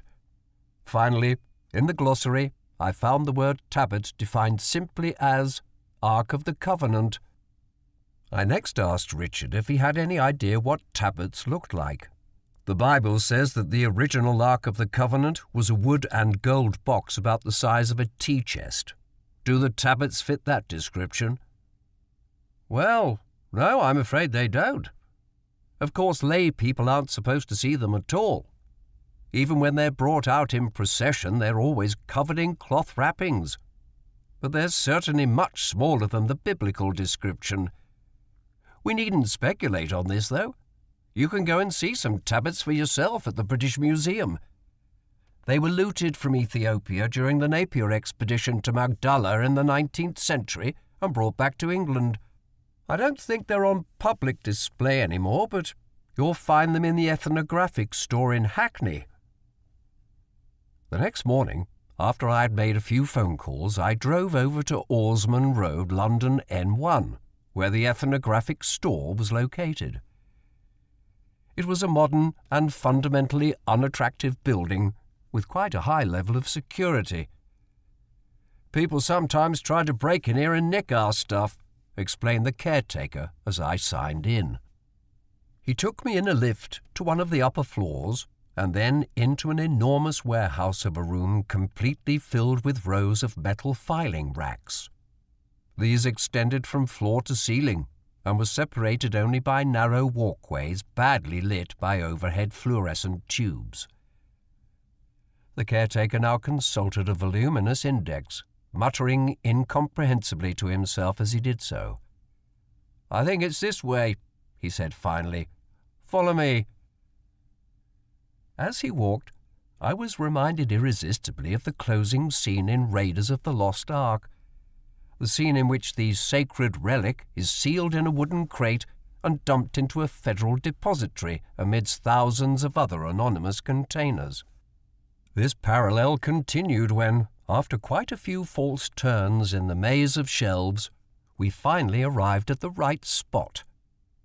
Here, with a certain amount of ceremony, the caretaker pulled out a large box. I felt a thrill of excitement as he opened it up. Inside, however, there was nothing that bore even the remotest resemblance to my image of the Ark of the Covenant. Separated by sheets of crepe paper, there were, instead, nine wooden slabs, some square, some rectangular, none exceeding eighteen inches in length and width, and none more than three inches thick. The majority were very plain, but all bore writing which I recognized as Ge'ez, the ancient liturgical language of Ethiopia. A few were additionally engraved with crosses and other devices. I asked the caretaker to check his index. Could he possibly have made a mistake? Could we be looking at the wrong things? He squinted at the list in his hands, then replied, No, no mistake. These are your tabots, all right from the Holmes collection, brought back by the British expedition to Abyssinia in 1867 to 1868. That's what it says here. I thanked him for his trouble and left, satisfied that I had finally laid the whole matter to rest. These pathetic lumps of wood were supposed to be replicas of the sacred relic in the sanctuary chapel at Aksum. Whatever that relic might be, therefore, one thing was now absolutely clear. It was not the Ark of the Covenant.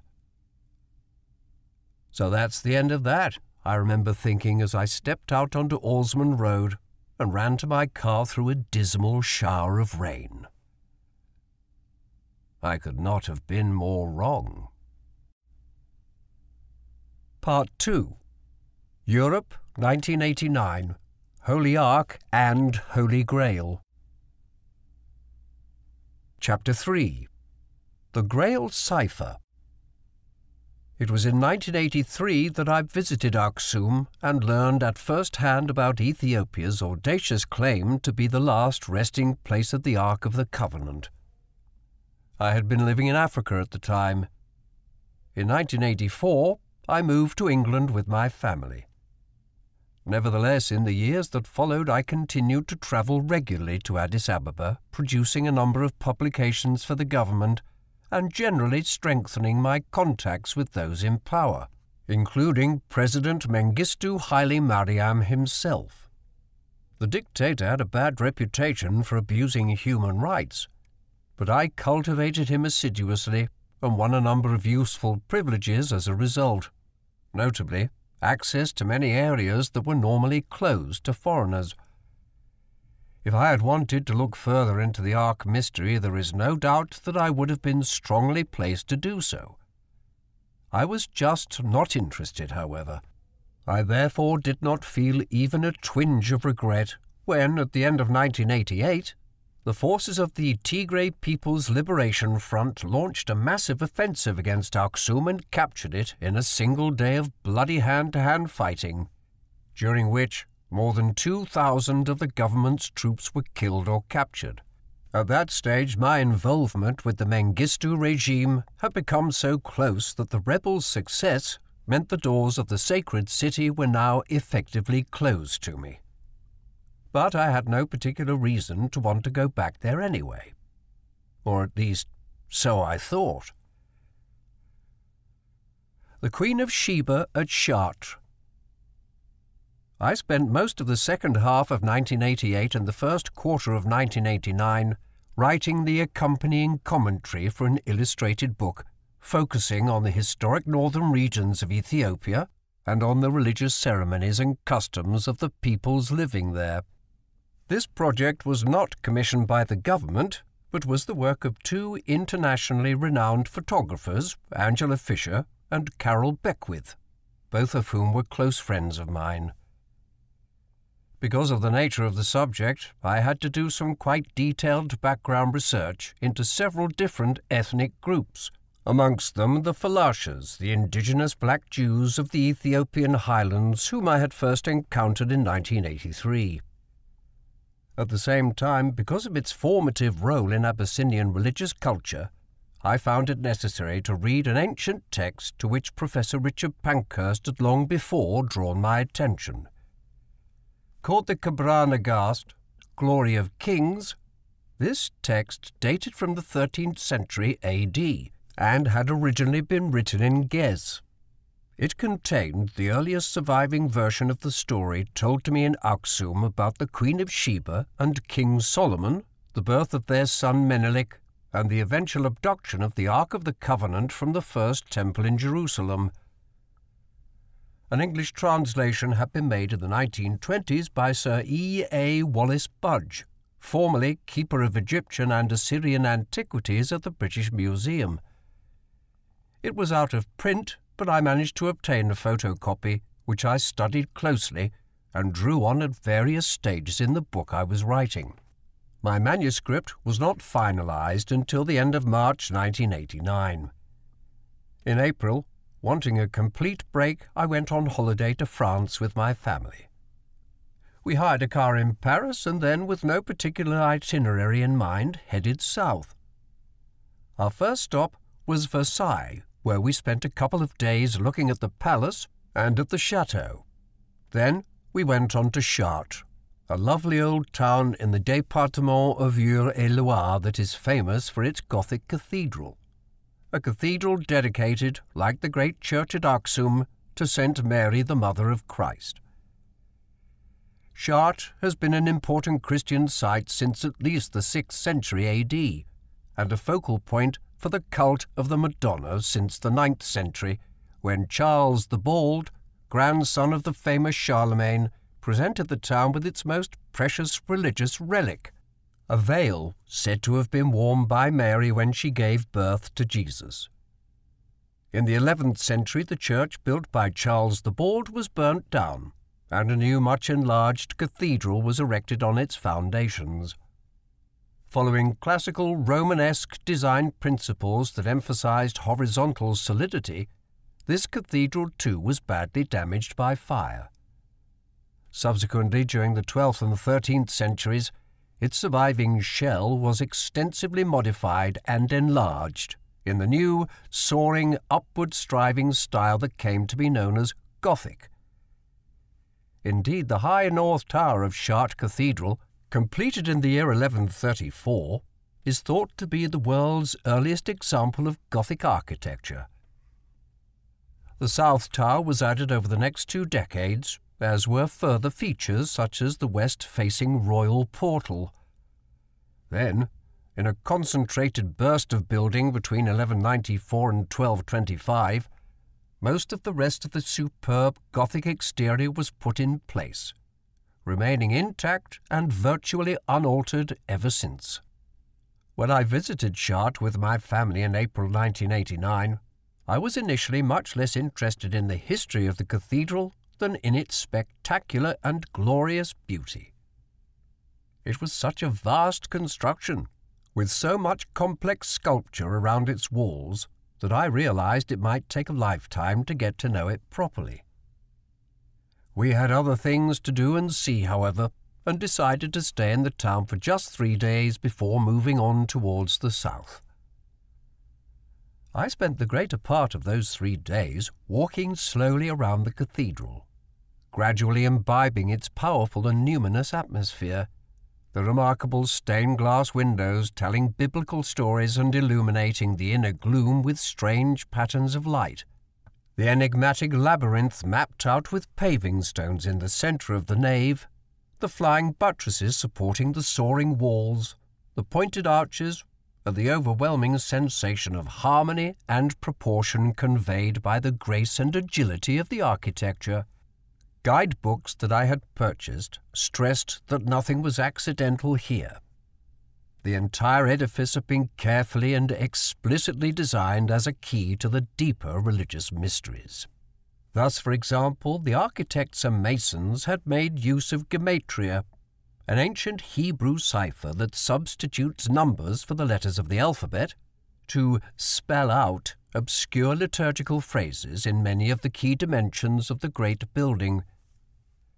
Similarly, the sculptors and glaziers, working usually to the instructions of the higher clergy, had carefully concealed complex messages about human nature, about the past, and about the prophetic meaning of the scriptures in the thousands of different devices and designs that they had created. The statues and windows were in themselves works of art and beauty that were capable, at the most superficial level of understanding, of providing satisfaction, moral guidance, and even entertainment to the viewer.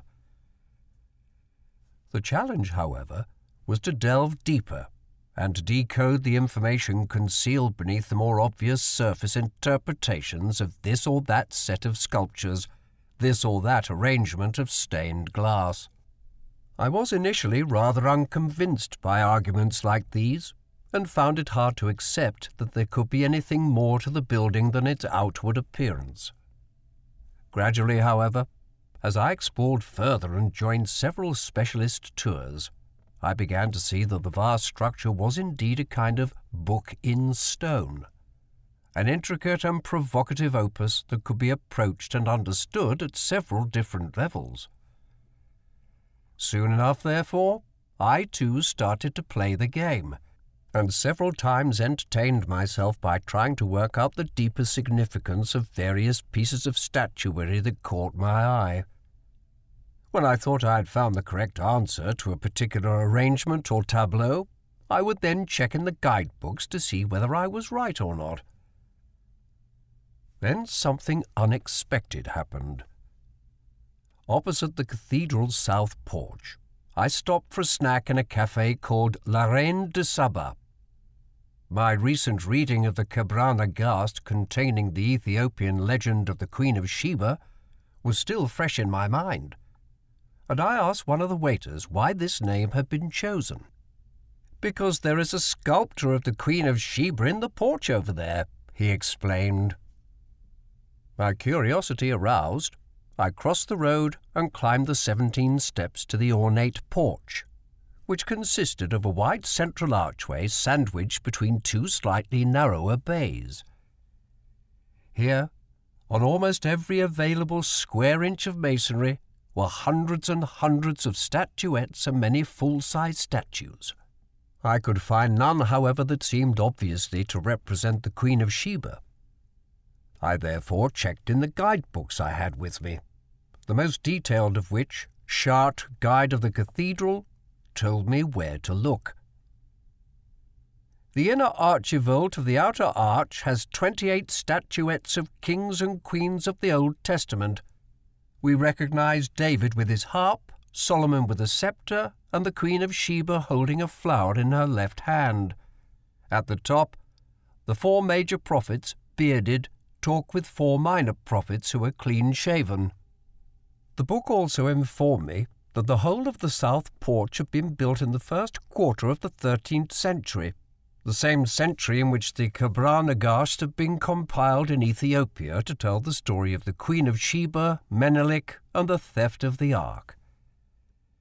This struck me as an amusing coincidence, and I therefore examined the statuette of the Queen of Sheba with some considerable interest.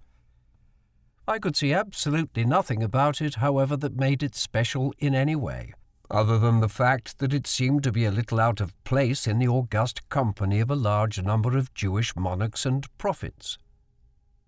I knew that according to the Kebra Nagast, the Queen had been converted to Judaism, but I also knew that the relatively short biblical account of her visit to Jerusalem made no mention of this. In chapter 10 of the Book of Kings and in chapter 9 of the Book of Chronicles, the only places where she was specifically named in the scriptures, she arrived at Solomon's court a heathen, and apparently left there a heathen still. It was her paganism, therefore, that made her the odd one out, unless, of course, the builders of Chartres Cathedral had been familiar with the Ethiopian story of her conversion. This, however, seemed most unlikely. Indeed, the Old Testament did not even hint that she might have come from Ethiopia at all, and the majority of scholars believed her to have been a South Arabian monarch who had hailed quite specifically from Saba or Sabaea in what is now the Yemen. I might very well have left the matter there as a minor anomaly amongst the sculptures in the south porch of Chartres Cathedral. If I had not discovered, by reading further in my guidebook, that there was a second statue of the Queen of Sheba in the north porch. That porch, too, had been built between the years 1200 and 1225 and was devoted to an extensive portrayal of Old Testament themes. The Ark and the inscriptions. I suppose on that first visit that I spent two hours in the north porch trying to puzzle out the convoluted stories told by the sculptures. The left bay contained several representations of the Virgin Mary and of the infant Christ together with Old Testament prophets like Isaiah and Daniel. There were also moral tales, notably one which portrayed the triumph of the virtues over the vices, and another which depicted the beatitudes of the body and soul as described by the great 12th century cleric Saint Bernard of Clairvaux. The central bay was dominated by a group of Old Testament patriarchs and prophets, notably the figure of Melchizedek, the mysterious priest king of Salem described in chapter 14 of the book of Genesis and in Psalm 110. Abraham, Moses, Samuel, and David were there also, as were Elisha and St. Peter. Other scenes included the Garden of Eden with its four rivers, and the Virgin Mary crowned and seated on the heavenly throne beside Jesus. It was in the right bay that I found the Queen of Sheba. This time she was not an obscure statuette on the arch as had been the case in the south porch, but rather a full-sized statue. She was placed next to a figure of Solomon, which made sense given the biblical context. What immediately caught my eye, however, was that beneath her feet crouched an African, described in one of my guidebooks as her Negroid servant, and in another as her Ethiopian slave. No further details were given. Nevertheless, I had seen enough to be satisfied that the sculptors who had worked in the north porch of Chartres in the thirteenth century had wanted to place the Queen unmistakably in an African context. This meant that I could no longer so easily dismiss the possibility that those sculptors might have been familiar with the Ethiopian traditions about her which, in the thirteenth century, had been set down in the Kebra Nagast. That at least would explain why an apparently pagan monarch had been given so much importance in the iconography of a Christian cathedral. It had only been in the Kebra Nagast and not in the Bible that she had been described as a convert to the true faith of the patriarchs. At the same time, however, it raised another difficult question. How and by what means could the Ethiopian story have filtered into northern France at so early a date?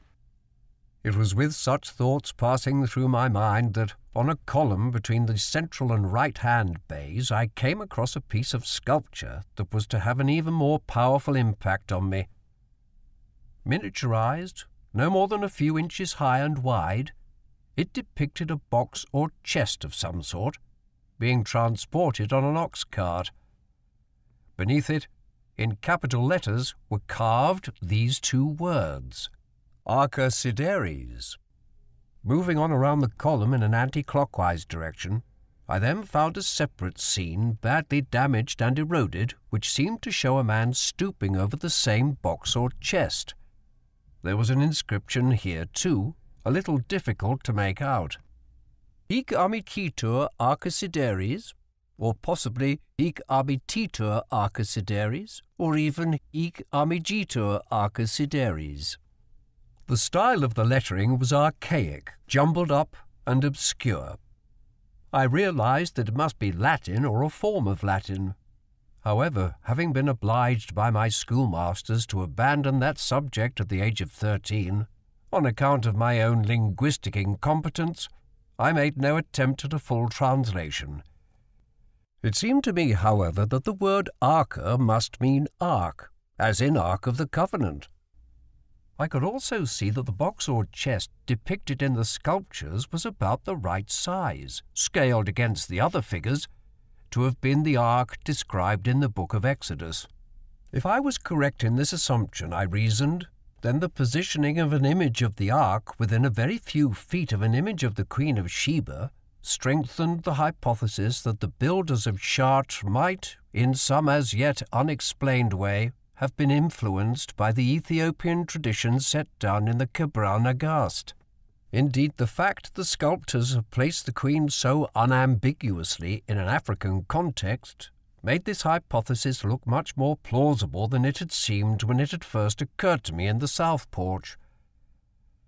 I therefore felt that it would be worth my while to establish whether the miniaturized devices on the columns were really images of the Ark and to work out the meaning of the Latin inscriptions. I sat down on the paving of the north porch and pored through my guidebooks. Only two of them made any mention at all of the decorations on the columns I was interested in. One offered no translation of the inscriptions, but confirmed that the scenes depicted did indeed relate to the Ark of the Covenant. The other provided the following translation, which I found interesting, but also rather suspect. Arca Sideris. You are to work through the ark. Ic amititur arca Sideris. Here things take their course. You are to work through the ark. Even my schoolboy Latin was sufficient to suggest that these interpretations were probably incorrect. I therefore decided that I would have to refer the matter to an expert for clarification. And it occurred to me that in just a few days I would be passing quite close to the home of a man well qualified to help. Professor Peter Lasko, an art historian and a former director of the University of London's Courtauld Institute, who now spent six months of every year living in southern France. The father of a close friend of mine, Lasko had made a lifetime study of the sacred art and architecture of the medieval period, and could probably give me an authoritative opinion, or at any rate, point me in the right direction. Accordingly, I carefully copied out the inscriptions and then stood up to try to produce a sketch of the whole north porch. As I was doing so, I noticed something else that was possibly significant. The ark tableau, though standing to the front of the porch on the supporting columns, was positioned exactly midway between Melchizedek, the Old Testament priest king whose statue dominated the central bay, and the statue of the Queen of Sheba, which dominated the right hand bay. Indeed, I found that I could draw a neat triangle connecting up all three pieces of sculpture, with Melchizedek and the Queen of Sheba at either end of the long base, and the Ark of the Covenant at the apex of the two shorter sides. Nor was this all.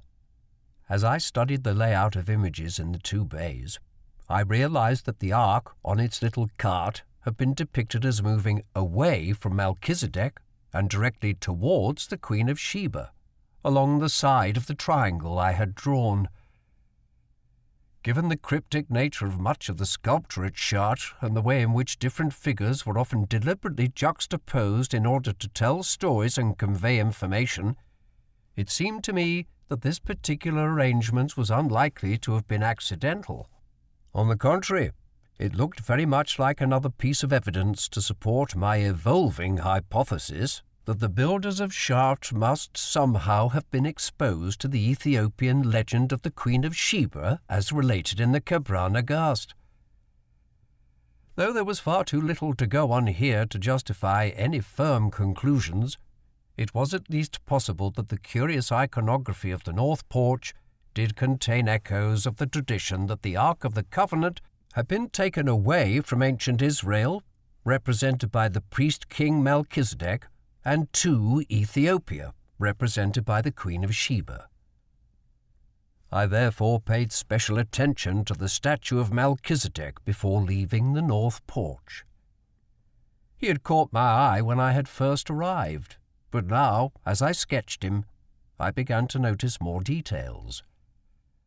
Dangling beneath his right ham, for example, was a censer very similar to those that I had often seen in use in Ethiopian church services, where copious quantities of incense were routinely burned. Meanwhile, he held in his left hand a long stemmed chalice or cup, containing not liquid, but rather some sort of solid, cylindrical object. I searched through my guidebooks again, but could find no reference to the censer and only conflicting explanations of the cup. One source said that Melchizedek was intended here to be viewed as a precursor of Christ and that the chalice and the object within it were thus meant to represent the bread and the wine, the symbols of the Eucharist. Another captioned its photograph of the statue with these words Melchizedek bearing the grail cup out of which comes the stone, and then added, somewhat puzzlingly, with this we may connect the poem of Wolfram von Eschenbach, who is said to have been a Templar though there is no proof of this, for whom the Grail is a stone. None the wiser, I eventually left the north porch and joined my wife and children in the gardens behind the great cathedral. The next day we drove south from Chartres in the direction of Bordeaux and Biarritz, and some time after that, now heading east towards the Côte d'Azur, we arrived in the département of Tarn-et-Garonne near the city of Toulouse. There, with the aid of a good map, I eventually found the home of the art historian Professor Peter Lasko, whom I had telephoned from Chartres and who had expressed a willingness to talk to me about the sculptures in the north porch, though, he had modestly added, he could not claim to be an expert on them. An Ethiopian connection. I spent an afternoon with Peter Lasko at his house in the village of Montaigu de Quercy a distinguished grey-haired man in his sixties. I had met him several times before, and he knew that, as a writer, I specialized in Ethiopia and the Horn of Africa. He therefore began by asking me why I had suddenly taken an interest in medieval French cathedrals. I replied by outlining my theory that the sculptures I had seen in the north porch of Chartres might in some way have been influenced by the Kebra Nagast. Melchizedek with his cup could represent Old Testament Israel, I concluded. He was priest king of Salem, after all, which a number of scholars have identified with Jerusalem. Then the Queen of Sheba, with her African servant, could represent Ethiopia. And then we have the ark between the two going in the direction of Ethiopia. So the message would be that the ark had gone from Jerusalem to Ethiopia which is exactly what the Kebra Nagast says. How does that sound to you? To be perfectly honest, Graham, it sounds preposterous. Why? Well, I suppose it's just possible that Ethiopian traditions could have filtered into Europe as early as the 13th century. In fact, come to think of it, there has been at least one scholarly paper which does suggest that this could have happened. I rather doubt that view myself. Nevertheless, if the Kebra Nagast story was known in Chartres at the right time, I just don't see why anyone would have felt motivated to translate it into the iconography of the cathedral. That would have been a most peculiar thing to do, particularly in the north porch, which is mainly about the Old Testament forerunners of Christ. Melchizedek is there for that very reason, by the way. He's specifically identified with Christ in the book of Hebrews. He's shown holding a cup in the sculpture, and there's also some kind of cylindrical object in the cup. Probably meant to represent bread, the bread and the wine of the Eucharist. That's what one of my guidebooks says. But there's another one which identifies the cup with the Holy Grail, and which argues that the cylindrical object is a stone. Peter Lasko raised a quizzical eyebrow. I've never heard such a thing before. It sounds even more far-fetched than your theory of an Ethiopian connection. He paused reflectively, then added, There is one thing, though. That scholarly paper which I mentioned, the one that talks about Ethiopian ideas finding their way into medieval Europe? Yes. Well, oddly enough, it's about the Holy Grail. If I remember rightly, it argues that Wolfram von Eschenbach's Grail, which was a stone, not a cup, was influenced by some sort of Christian Ethiopian tradition. I sat forward in my chair. That's interesting. Wolfram von Eschenbach was also mentioned in my guidebook. Who was he? One of the earliest of the medieval poets to concern himself with the Holy Grail. He wrote a book-length work on the subject called Parzival. Isn't that the name of an opera? Yes, by Wagner. He was inspired by Wolfram. And this Wolfram, when did he write? Late 12th or early 13th century.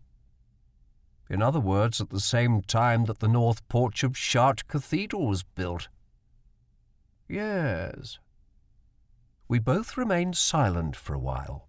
Then I said, The paper that you told me about, which argues that Wolfram's work was influenced by Ethiopian traditions, I don't suppose you happen to remember the title of it, do you? Ah, no, I'm afraid not. It must have been at least twenty years ago when I read it. It was by someone or other Adolf, I think. That name sticks in my mind anyway. Wolfram was a German, so you really need to talk to a specialist in Middle High German literature to find out more details. Silently resolving that I would do just that, I then asked Peter if he could help me with the translation of the inscriptions that had so intrigued me at Chartres. My guidebook, I told him, had rendered Arcesideres as you are to work through the ark, and hic amititur Arcesideres as here things take their course, you are to work through the ark. These interpretations, however, were, in his view, completely wrong. Arcus certainly meant ark, and sideris was most probably a corruption of foederis, meaning covenant. On this reading, therefore, Arcus sideris would translate very simply and logically as Ark of the Covenant. Another alternative, however, was that the word sideris was intended as a form of the verb sideri, meaning to yield or to give up or to go away. The tense was unorthodox, but the best translation of archisideris, if this was the case, would be the ark that you will yield, or give up, or send away. As to the longer inscription, the problem was the obscurity of the fourth letter of the second word.